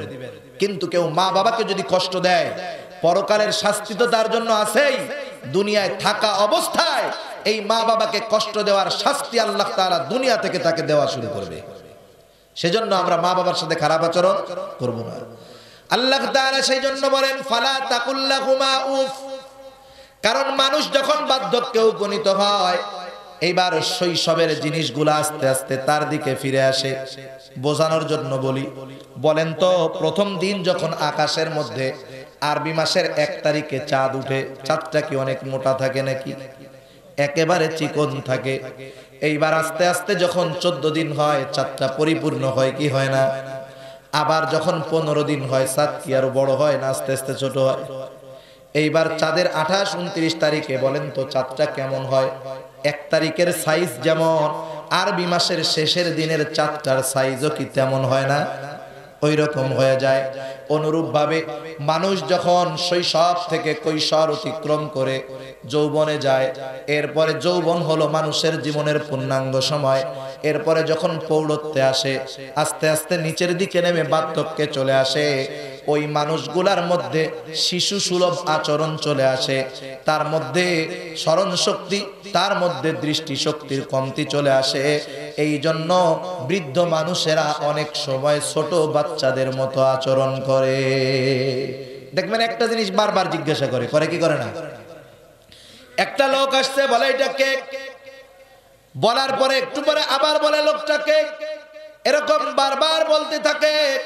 অনেক সময় এই বারবার, দুই, তিনবার বলার পরে অনেক সন্তান রাগ হয়ে যায়, ধমক দিয়া বলে, টের পান নাই, অমুকে আসছে। বারবার বললাম, কতবার বলা যায়? একটু চিন্তা করেন, যদি আপনার সন্তান থাকে, কথাটা আপনার বুঝতে সহজ হবে। দেখবেন সন্তানের যখন এক বছর বয়স পার হয়, এই সন্তান যখন ডানে বামে সব কিছু চেনা শুরু করে, অনেক সময় একটা জিনিসের দিকে বারবার সে বলে, আব্বু, ওইটা কি? একবার বলল, আপনি জবাব দেন, এইটা হাসি মুখে যেটা ওই। ওই রকম একশো বারও যদি আপনার সন্তান জিজ্ঞাসা করে, আপনি কি একশো বার জিজ্ঞাসা করার কারণে ওই ছোট বাচ্চার উপরে রাগ হন নাকি? হাসি মুখে প্রত্যেকটা বার জবাব আপনি দেন। এই সন্তান আপনার, আপনি তার ছোটবেলায় তার এক প্রশ্নের জবাব একশো বার দিছেন, বিরক্ত হন নাই। অথচ যখন আপনি বার্ধক্যে উপনীত হবেন আপনি যদি আপনার একবার, দুইবারের একই প্রশ্নের উত্তর দিতে গিয়ে ওই সন্তান যদি বিরক্ত হয়, ধমক দেয়, এই ধমকটা দুনিয়ার শব্দের মতো হয় না। এই ধমকের আঘাতটা ওই মা বাবার কলিজায় বিষাক্ত তীরের মতো লেগে যায়। তখন তার মনে পড়ে যায়, হায় রে, এই তো আমার সেই বাচ্চাটা যেটার আমি ছোটবেলায় এক জিনিস, একশো বার জিজ্ঞাসা করলে আমি বিরক্ত হই নাই। অথচ আজকে আমার মনে থাকে না, ভুলে যাই আমি এইটা দুই, তিনবার জিজ্ঞাসা করার কারণে ও বেজার হয়ে গেল। সেজন্য এমনটা কখনো মা বাবার সাথে করা যাবে না। আল্লাহ তাআলা বললেন, ফালা ফালা তাকুল্লাহুমা উফ, ওয়ালা তানহারহুমা। খবরদার, কখনো মা বাবাকে ধমক দিবা না, ধমকের সুরে, গরম সুরে কথা বলবা না। কেমনে কথা বলবা? আল্লাহ তাআলা শিখায় দেন, ওয়া কুল্লাহুমা কওলান কারীমা।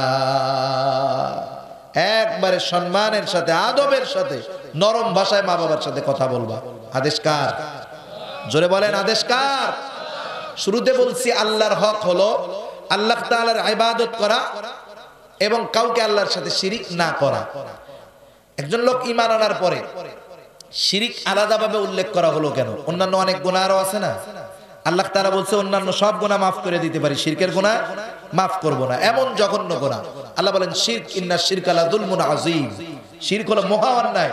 আল্লাহ তাআলা সবচাইতে বেজার হন যদি কেউ আল্লাহর সাথে শিরিক করে। এখন বলেন, এত বড় পাপ আপনারে যদি কেউ শিরিক করতে বলে, যেই লোকটা আপনাকে শিরিক করতে বলবে, সেই লোকটা আপনার যত কাছের লোক হোক না কেন, আপনি যদি ইমানদার হন, ওর সাথে সম্পর্ক রাখবেন। রাখবেন পারলে ধুলাইও দিয়া দিবেন। কত বড় সাহস আল্লাহর সাথে শিরিক করতে বলো অথচ দেখেন আল্লাহ তাআলা কি বলেন আল্লাহ রাব্বুল আলামিন পবিত্র কোরআনুল কারীমের মধ্যে বলেন وإن جاهداك على أن تشرك بي ما ليس لك به علم فلا تطعهما وصاحبهما في الدنيا معروفا আল্লাহ রাব্বুল আলামিন বলেন তোমার মা বাবা যদি অজ্ঞতার কারণে আমি আল্লাহর সাথে তোমাকে শিরিক করার জন্য জোর জবরদস্তি করে, আল্লাহ বলেন, ফালা তুতিহুমা এই ক্ষেত্রে তুমি তোমার মা বাবার এই আদেশটার আনুগত্য করবা না। আদেশ যা করছে এটা তুমি করবা না। কিন্তু খবরদার, তোমার মা বাবা তোমাকে শিরিক করতে বলছে এই জন্য মা বাবার উপরে তুমি কোনো অ্যাকশনে যাইতে পারবা না। মা বাবাকে ধমক দিতে পারবা না, প্রহার করতে পারবা না থ্রেট দিতে পারবা না। বরং কি করবা? আল্লাহ তাআলা আদেশ করে জানায় দিলেন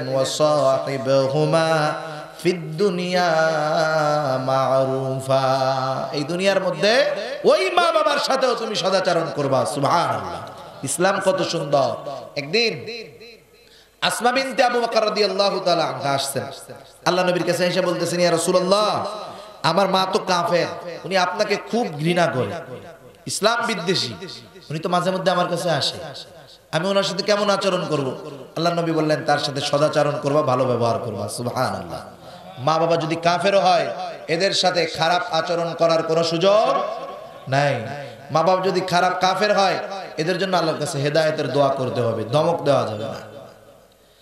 আল্লাহ রাব্বুল আলামিন সেই জন্য বলেন ফালা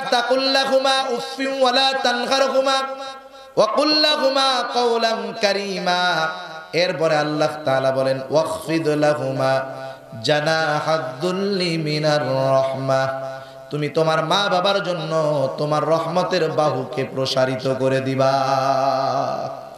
মানুষকে দেখানোর জন্য না। মিনার রহমা, আল্লাহ তাআলা মিনার রহমা শব্দ উল্লেখ করার কারণ হলো অন্তর থেকে ইখলাসের সাথে মানুষকে দেখানোর জন্য না, আল্লাহর সন্তুষ্টির জন্য মা বাবার প্রতি তোমার রহমতের মায়ার ডানা তুমি বিছায়া দিবা, সুবহানাল্লাহ।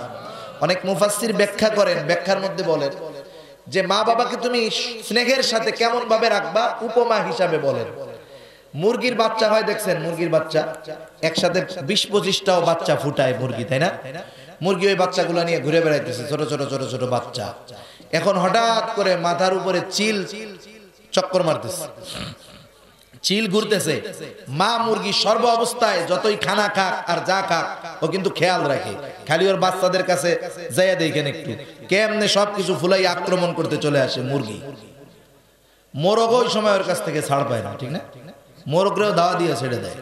যখন দেখে যে উপরে চিল উঠতেছে ও এইবার সংকেত দেওয়ার সাথে সাথে ওর সব ওই বিশ পঁচিশটা বাচ্চা সব ওর কাছে চলে আসে আসে না?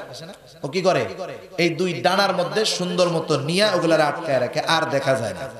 যতগুলা বাচ্চা হোক, ওইভাবে সে রাখে। কোনদিন দেখছেন?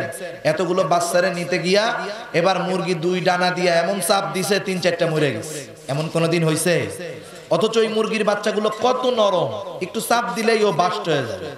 অথচ এই মুরগি ওর বাচ্চাগুলোকে কত মায়ার সাথে, কত স্নেহের সাথে, কত মোহাব্বতের সাথে দুই ডানার মধ্যে আগলে রাখছে যে তাদেরা যেমন নিরাপত্তার সাথে থাকে, তাদেরকে ওই মুরগি মা কক কক করে তাদের ভাষায় বলে, এ আমার বাচ্চারা, তোরা কোনো চিন্তা করিস না। তোরা আমার কাছে নিরাপত্তার সাথে আছিস। আমি দুনিয়া থেকে চলে যাব, তাও তোদেরকে কেউ কিছু করতে পারবে না। তোদের কোনো চিন্তা নেই। সন্তান মা বাবা যখন বার্ধক্যে উপনীত হবে, সন্তান মা বাবাকে ওই রকম বলবে যে, আব্বা, মা, আপনি চিন্তা করেন না। আমি আপনার সন্তান, আমার সব কিছুই তো আপনার। কারণ রসুল্লাহ সাল্লাহ আলহি ওসাল্লামের কাছে এক বাপ, এক সন্তান এসে অভিযোগ দায়ের করছে। ইয়া রসুল্লাহ আমার বাপ আমার সম্পদগুলা নিয়ে নিয়ে মানুষদেরকে দিয়া দেয়। আল্লাহর নবী বলছেন, যাও তোমার বাপকে ডাইকা নিয়ে আসো। ছেলেটা বাবাকে ডাকতে গেছে। ছেলেটা বাবার ব্যাপারে অভিযোগ দায়ের করছে আল্লাহ নবীর কাছে। ছেলেটা ভাবছে, হয়তো আমার আমি যখন আমার বাবাকে নিয়ে আসব, আল্লাহর নবী বইলা দিবে যে সন্তানের সম্পদগুলো আর ধরবা না। এবার যখন ছেলেটা বাবাকে ডাকতে গেছে, ইতিমধ্যে জিব্রাইল আমিন চলে আসলো। জিব্রাইল আমিন এসে বলে, ইয়া রাসূলুল্লাহ এই যে লোকটা আপনার কাছে আসছে, ওর বাবাকে ডাকতে গেছে।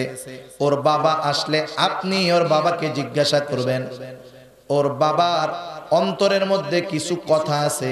যেই কথাগুলা সে আর আল্লাহ ছাড়া কেউ জানে না। আল্লাহ নবী ব্যাপারটা বুঝতে পারছেন? ছেলেটা যখন তার বাবাকে নিয়ে আসলো রসুল্লাহ সাল্লাল্লাহু আলাইহি ওয়াসাল্লাম, এইবার ওই লোকটাকে জিজ্ঞাসা করে, ভাই তোমার অন্তরের মধ্যে এমন কি কথা আছে? যেই কথাগুলা তুমি আর আল্লাহ তাআলা ছাড়া কেউ জানে না, আমাকে বলো। লোকটা এবার চোখের পানি ছেড়ে দিয়ে বলে, ইয়া রাসূলুল্লাহ, আমার অন্তরের মধ্যে কোন কথা আছে? আল্লাহ জানেন। আমি যদি আপনার কাছে মিথ্যা বলি, তাও আল্লাহ আপনাকে জানায় দিবে। ইয়া রাসূলুল্লাহ, এই লোকটাই ছেলেটা হলো আমার সন্তান। আমি ওকে অনেক কষ্ট করে লালন পালন করেছি। আমার মনের মধ্যে তার ব্যাপারে এই কথাগুলো আসে। আমি আমার সন্তানটাকে বলি আমার সন্তান, তুমি তো আমার কলিজার টুকরা সন্তান। জীবনের এমন সময় গেছে, তুমি অসুস্থ রাতে ঘুমায় আসো আমি বাবা, রাতের পর রাত তোমার পাশে বসে আমি তোমার সেবা করেছি, মাথার ভিতরে পানি দিয়ে দিয়েছি। তোমার শরীরে জ্বর, সেই কষ্টটা আমার হৃদয়ে কষ্ট দিয়েছে, আমাকে ঘুমাতে দেয় নাই। সন্তান, তোমার খুশির জন্য আমি সব কিছু করেছি রে সন্তান। আজকে আমি বার্ধক্যে উপনীত হয়ে গেছি। তুমি আমার এই বার্ধক্যের কালে তোমার প্রতিবেশীর সাথে যতটুকু সৌজন্যমূলক আচরণ করো, এতটুকু আচরণও তুমি আমার সাথে করো না, এতটুকু ভালো তুমি আমাকে বাসো না। ইয়ার রাসূলুল্লাহ, এই কথাগুলা বলি আর আফসোস করি। আল্লাহর নবী অবস্থা বুঝতে পারলেন, হাদিসের মধ্যে আসছে ওই ছেলেটাকে নবী আমার কাছে ডাকলেন, দুই হাত দিয়ে তার জামার কলারটাকে ধরে বললেন এই বেটা শোনো, তুমিও তোমার বাবা আর তোমার সম্পদও তোমার বাবা। সেজন্য তোমার সম্পদ তোমার বাবা ব্যবহার করবে। সে যদি অন্যায় কোনো কাজে ব্যবহার না করে, তোমার বাধা দেওয়ার ক্ষমতা নেই। সেজন্য কোরআনুল করিমের মধ্যে আল্লাহ তাআলা বলেন, সাহাবারা জিজ্ঞাসা করতেছে, সম্পদ কোথায় ব্যয় করব? আল্লাহ তাআলা বলেন, ওয়াসআলুনাকা মাযা ইউনফিকুন? তারা আপনাকে জিজ্ঞাসা করে, কোথায় ব্যয় করব? আল্লাহ বলেন, কুল মা আনফাকতুম মিন খাইরিন ফালিল ওয়ালিদাইন। তুমি তোমার মা বাবার জন্য সম্পদের সবচাইতে উত্তমটা ব্যয় করবা। কার আদেশ জোরে বলেন, কার আদেশ এই আল্লাহর আদেশ আমরা সুন্দরী স্ত্রী পেয়ে অমান্য করি। কি করি? সুন্দরী স্ত্রী পেয়ে অমান্য করি। একটা সন্তান আসে অমান্য করি। এক সময় এই সুন্দর স্ত্রী আমার জাহান নামে যাওয়ার কারণ হয়, ঠিক কিনা বলেন? অনেক ক্ষেত্রে তো অনেক মা বোন তার স্বামীকে এই প্রস্তাব দিয়েই বসে যে, তোমার সাথে যদি আমার থাকতে হয়, তাহলে কিন্তু আমাকে আলাদা রাখতে হবে। তোমার মা বাবার সাথে আমি থাকতে পারব না। বলে কি বলে না? জোরে বলেন, বলে কি বলে না? আমি ওই মা বোনদেরকে বলি, তুমি কি কোনোদিন শাশুড়ি হবা না? তুমি তো শাশুড়ির থেকে, শ্বশুর থেকে আলাদা থাকলা।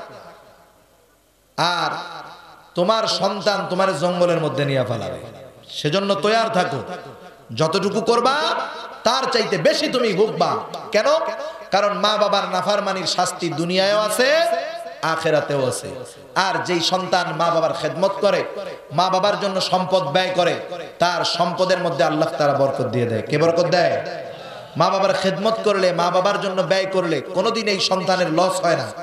হয়তো প্রাথমিক দিক দিয়ে সে দেখে যে সম্পদের কিছু ঘাটতি, কিন্তু যেই সময় তার সম্পদের দরকার, কঠিন কঠিন বিপদের মুহূর্তে আল্লাহ তাআলা তার জন্য সম্পদের ব্যবস্থা করে দেয়। এজন্য আপনাদের কাছে অনুরোধ, মা বাবা হলেন দুনিয়ার অন্যতম বড় নেহামত মা বাবা কি? বড় নেহামত যার আছে সে বুঝে না, যার নাই সে বুঝবে। কিছু ওয়াজ আছে, এগুলা ওয়াজ করে বোঝানো যায় না। একটা আপেল নিয়ে চব্বিশ ঘণ্টা ওয়াজ করলেও আপেলের স্বাদ বোঝানো যাবে না। কারণ আপেল তো হরেক রকমের। ওয়াজ না করে যদি কই, ভাই, খান, খাইলেই বুঝবেন। ঠিক না? এজন্য যার মা বাবা দুনিয়ায় নাই, সে বোঝে মা বাবা দুনিয়ায় না থাকলে কত কষ্ট। কত বৃদ্ধ হয়ে গেছে মানুষ। ঘরের মধ্যে মা আছে, ঘরে পড়া। ওই ঘরে পড়া মা দশ পনেরো বছর ধরে ঘরে পড়ে রয়েছে এরপরে ওই বৃদ্ধ সন্তান মায়ের মৃত্যুতে দিনের পর দিন কান্না করে। চিন্তা করছেন? যে মা ঘরে পড়া। মা তার ডাক শুনে না। এরপরে ওই সন্তানের ওই মা মারা যাওয়ার পরেও সে হৃদয়ের মধ্যে টের পায় যে এই মা ওই অসুস্থ অবস্থায় দুনিয়ায় থাকা, এটাও অনেক বড় এক নেয়ামত। ঠিক কিনা বলেন? সেজন্য এই নেয়ামত থাকতে থাকতে নেয়ামতের কদর করা মা বাবার সন্তুষ্টি অর্জন করা মা বাবার দোয়া, সন্তানের জন্য যদি মা বাবা দোয়া করে, আল্লাহ রব্বুল আলমিন এই দোয়াকে ফেরত দেন না। সুবহান আল্লাহ বলুন। এজন্য আমরা মা বাবার সাথে সদাচরণ করব। ভালো ব্যবহার করব। আর মা বাবার হকটা এমন এক হক যে সেটা যে দুনিয়ায় বেঁচে থাকতেই যে শুধু হয় তা না মা বাবা মারা যাওয়ার পরেও মা বাবার হক সন্তানের উপরে থেকে যায়। আল্লাহ তাআলা অন্যতম একটি হক শিখাই দিছেন। মা বাবা মারা যাওয়ার পরে দোয়া করবা। কি বইলা? আল্লাহ বলেন, রব্বির হামহুমা কামা রব্বায়ানি সগীরা। আমরা আল্লাহর কাছে এই কথার মাধ্যমে এটাই বলি, আল্লাহ, আমার মা বাবা যেমন করে আমাকে শিশুকালে শৈশবে লালন পালন করছে, আল্লাহ, আপনি তাদের উপরে রহম করেন, তাদেরকে ভালো রাখেন। এরকম দোয়া করা যাবে না, ইনশাআল্লাহ? যাই হোক সর্বশেষ আশেপাশে মনে আশেপাশে মনে একটা কবরস্থান আছে, তাই না? সামনে পশ্চিম পাশে একটা কবরস্থান আছে। কবরস্থানের উন্নয়ন কল্পে। আসলে গতানুগতিক কালেকশন তো আমি পারিও না। ওনারাও হঠাৎ করে হয়তো মাথার মধ্যে আসছে। আপনারা যদি কেউ চান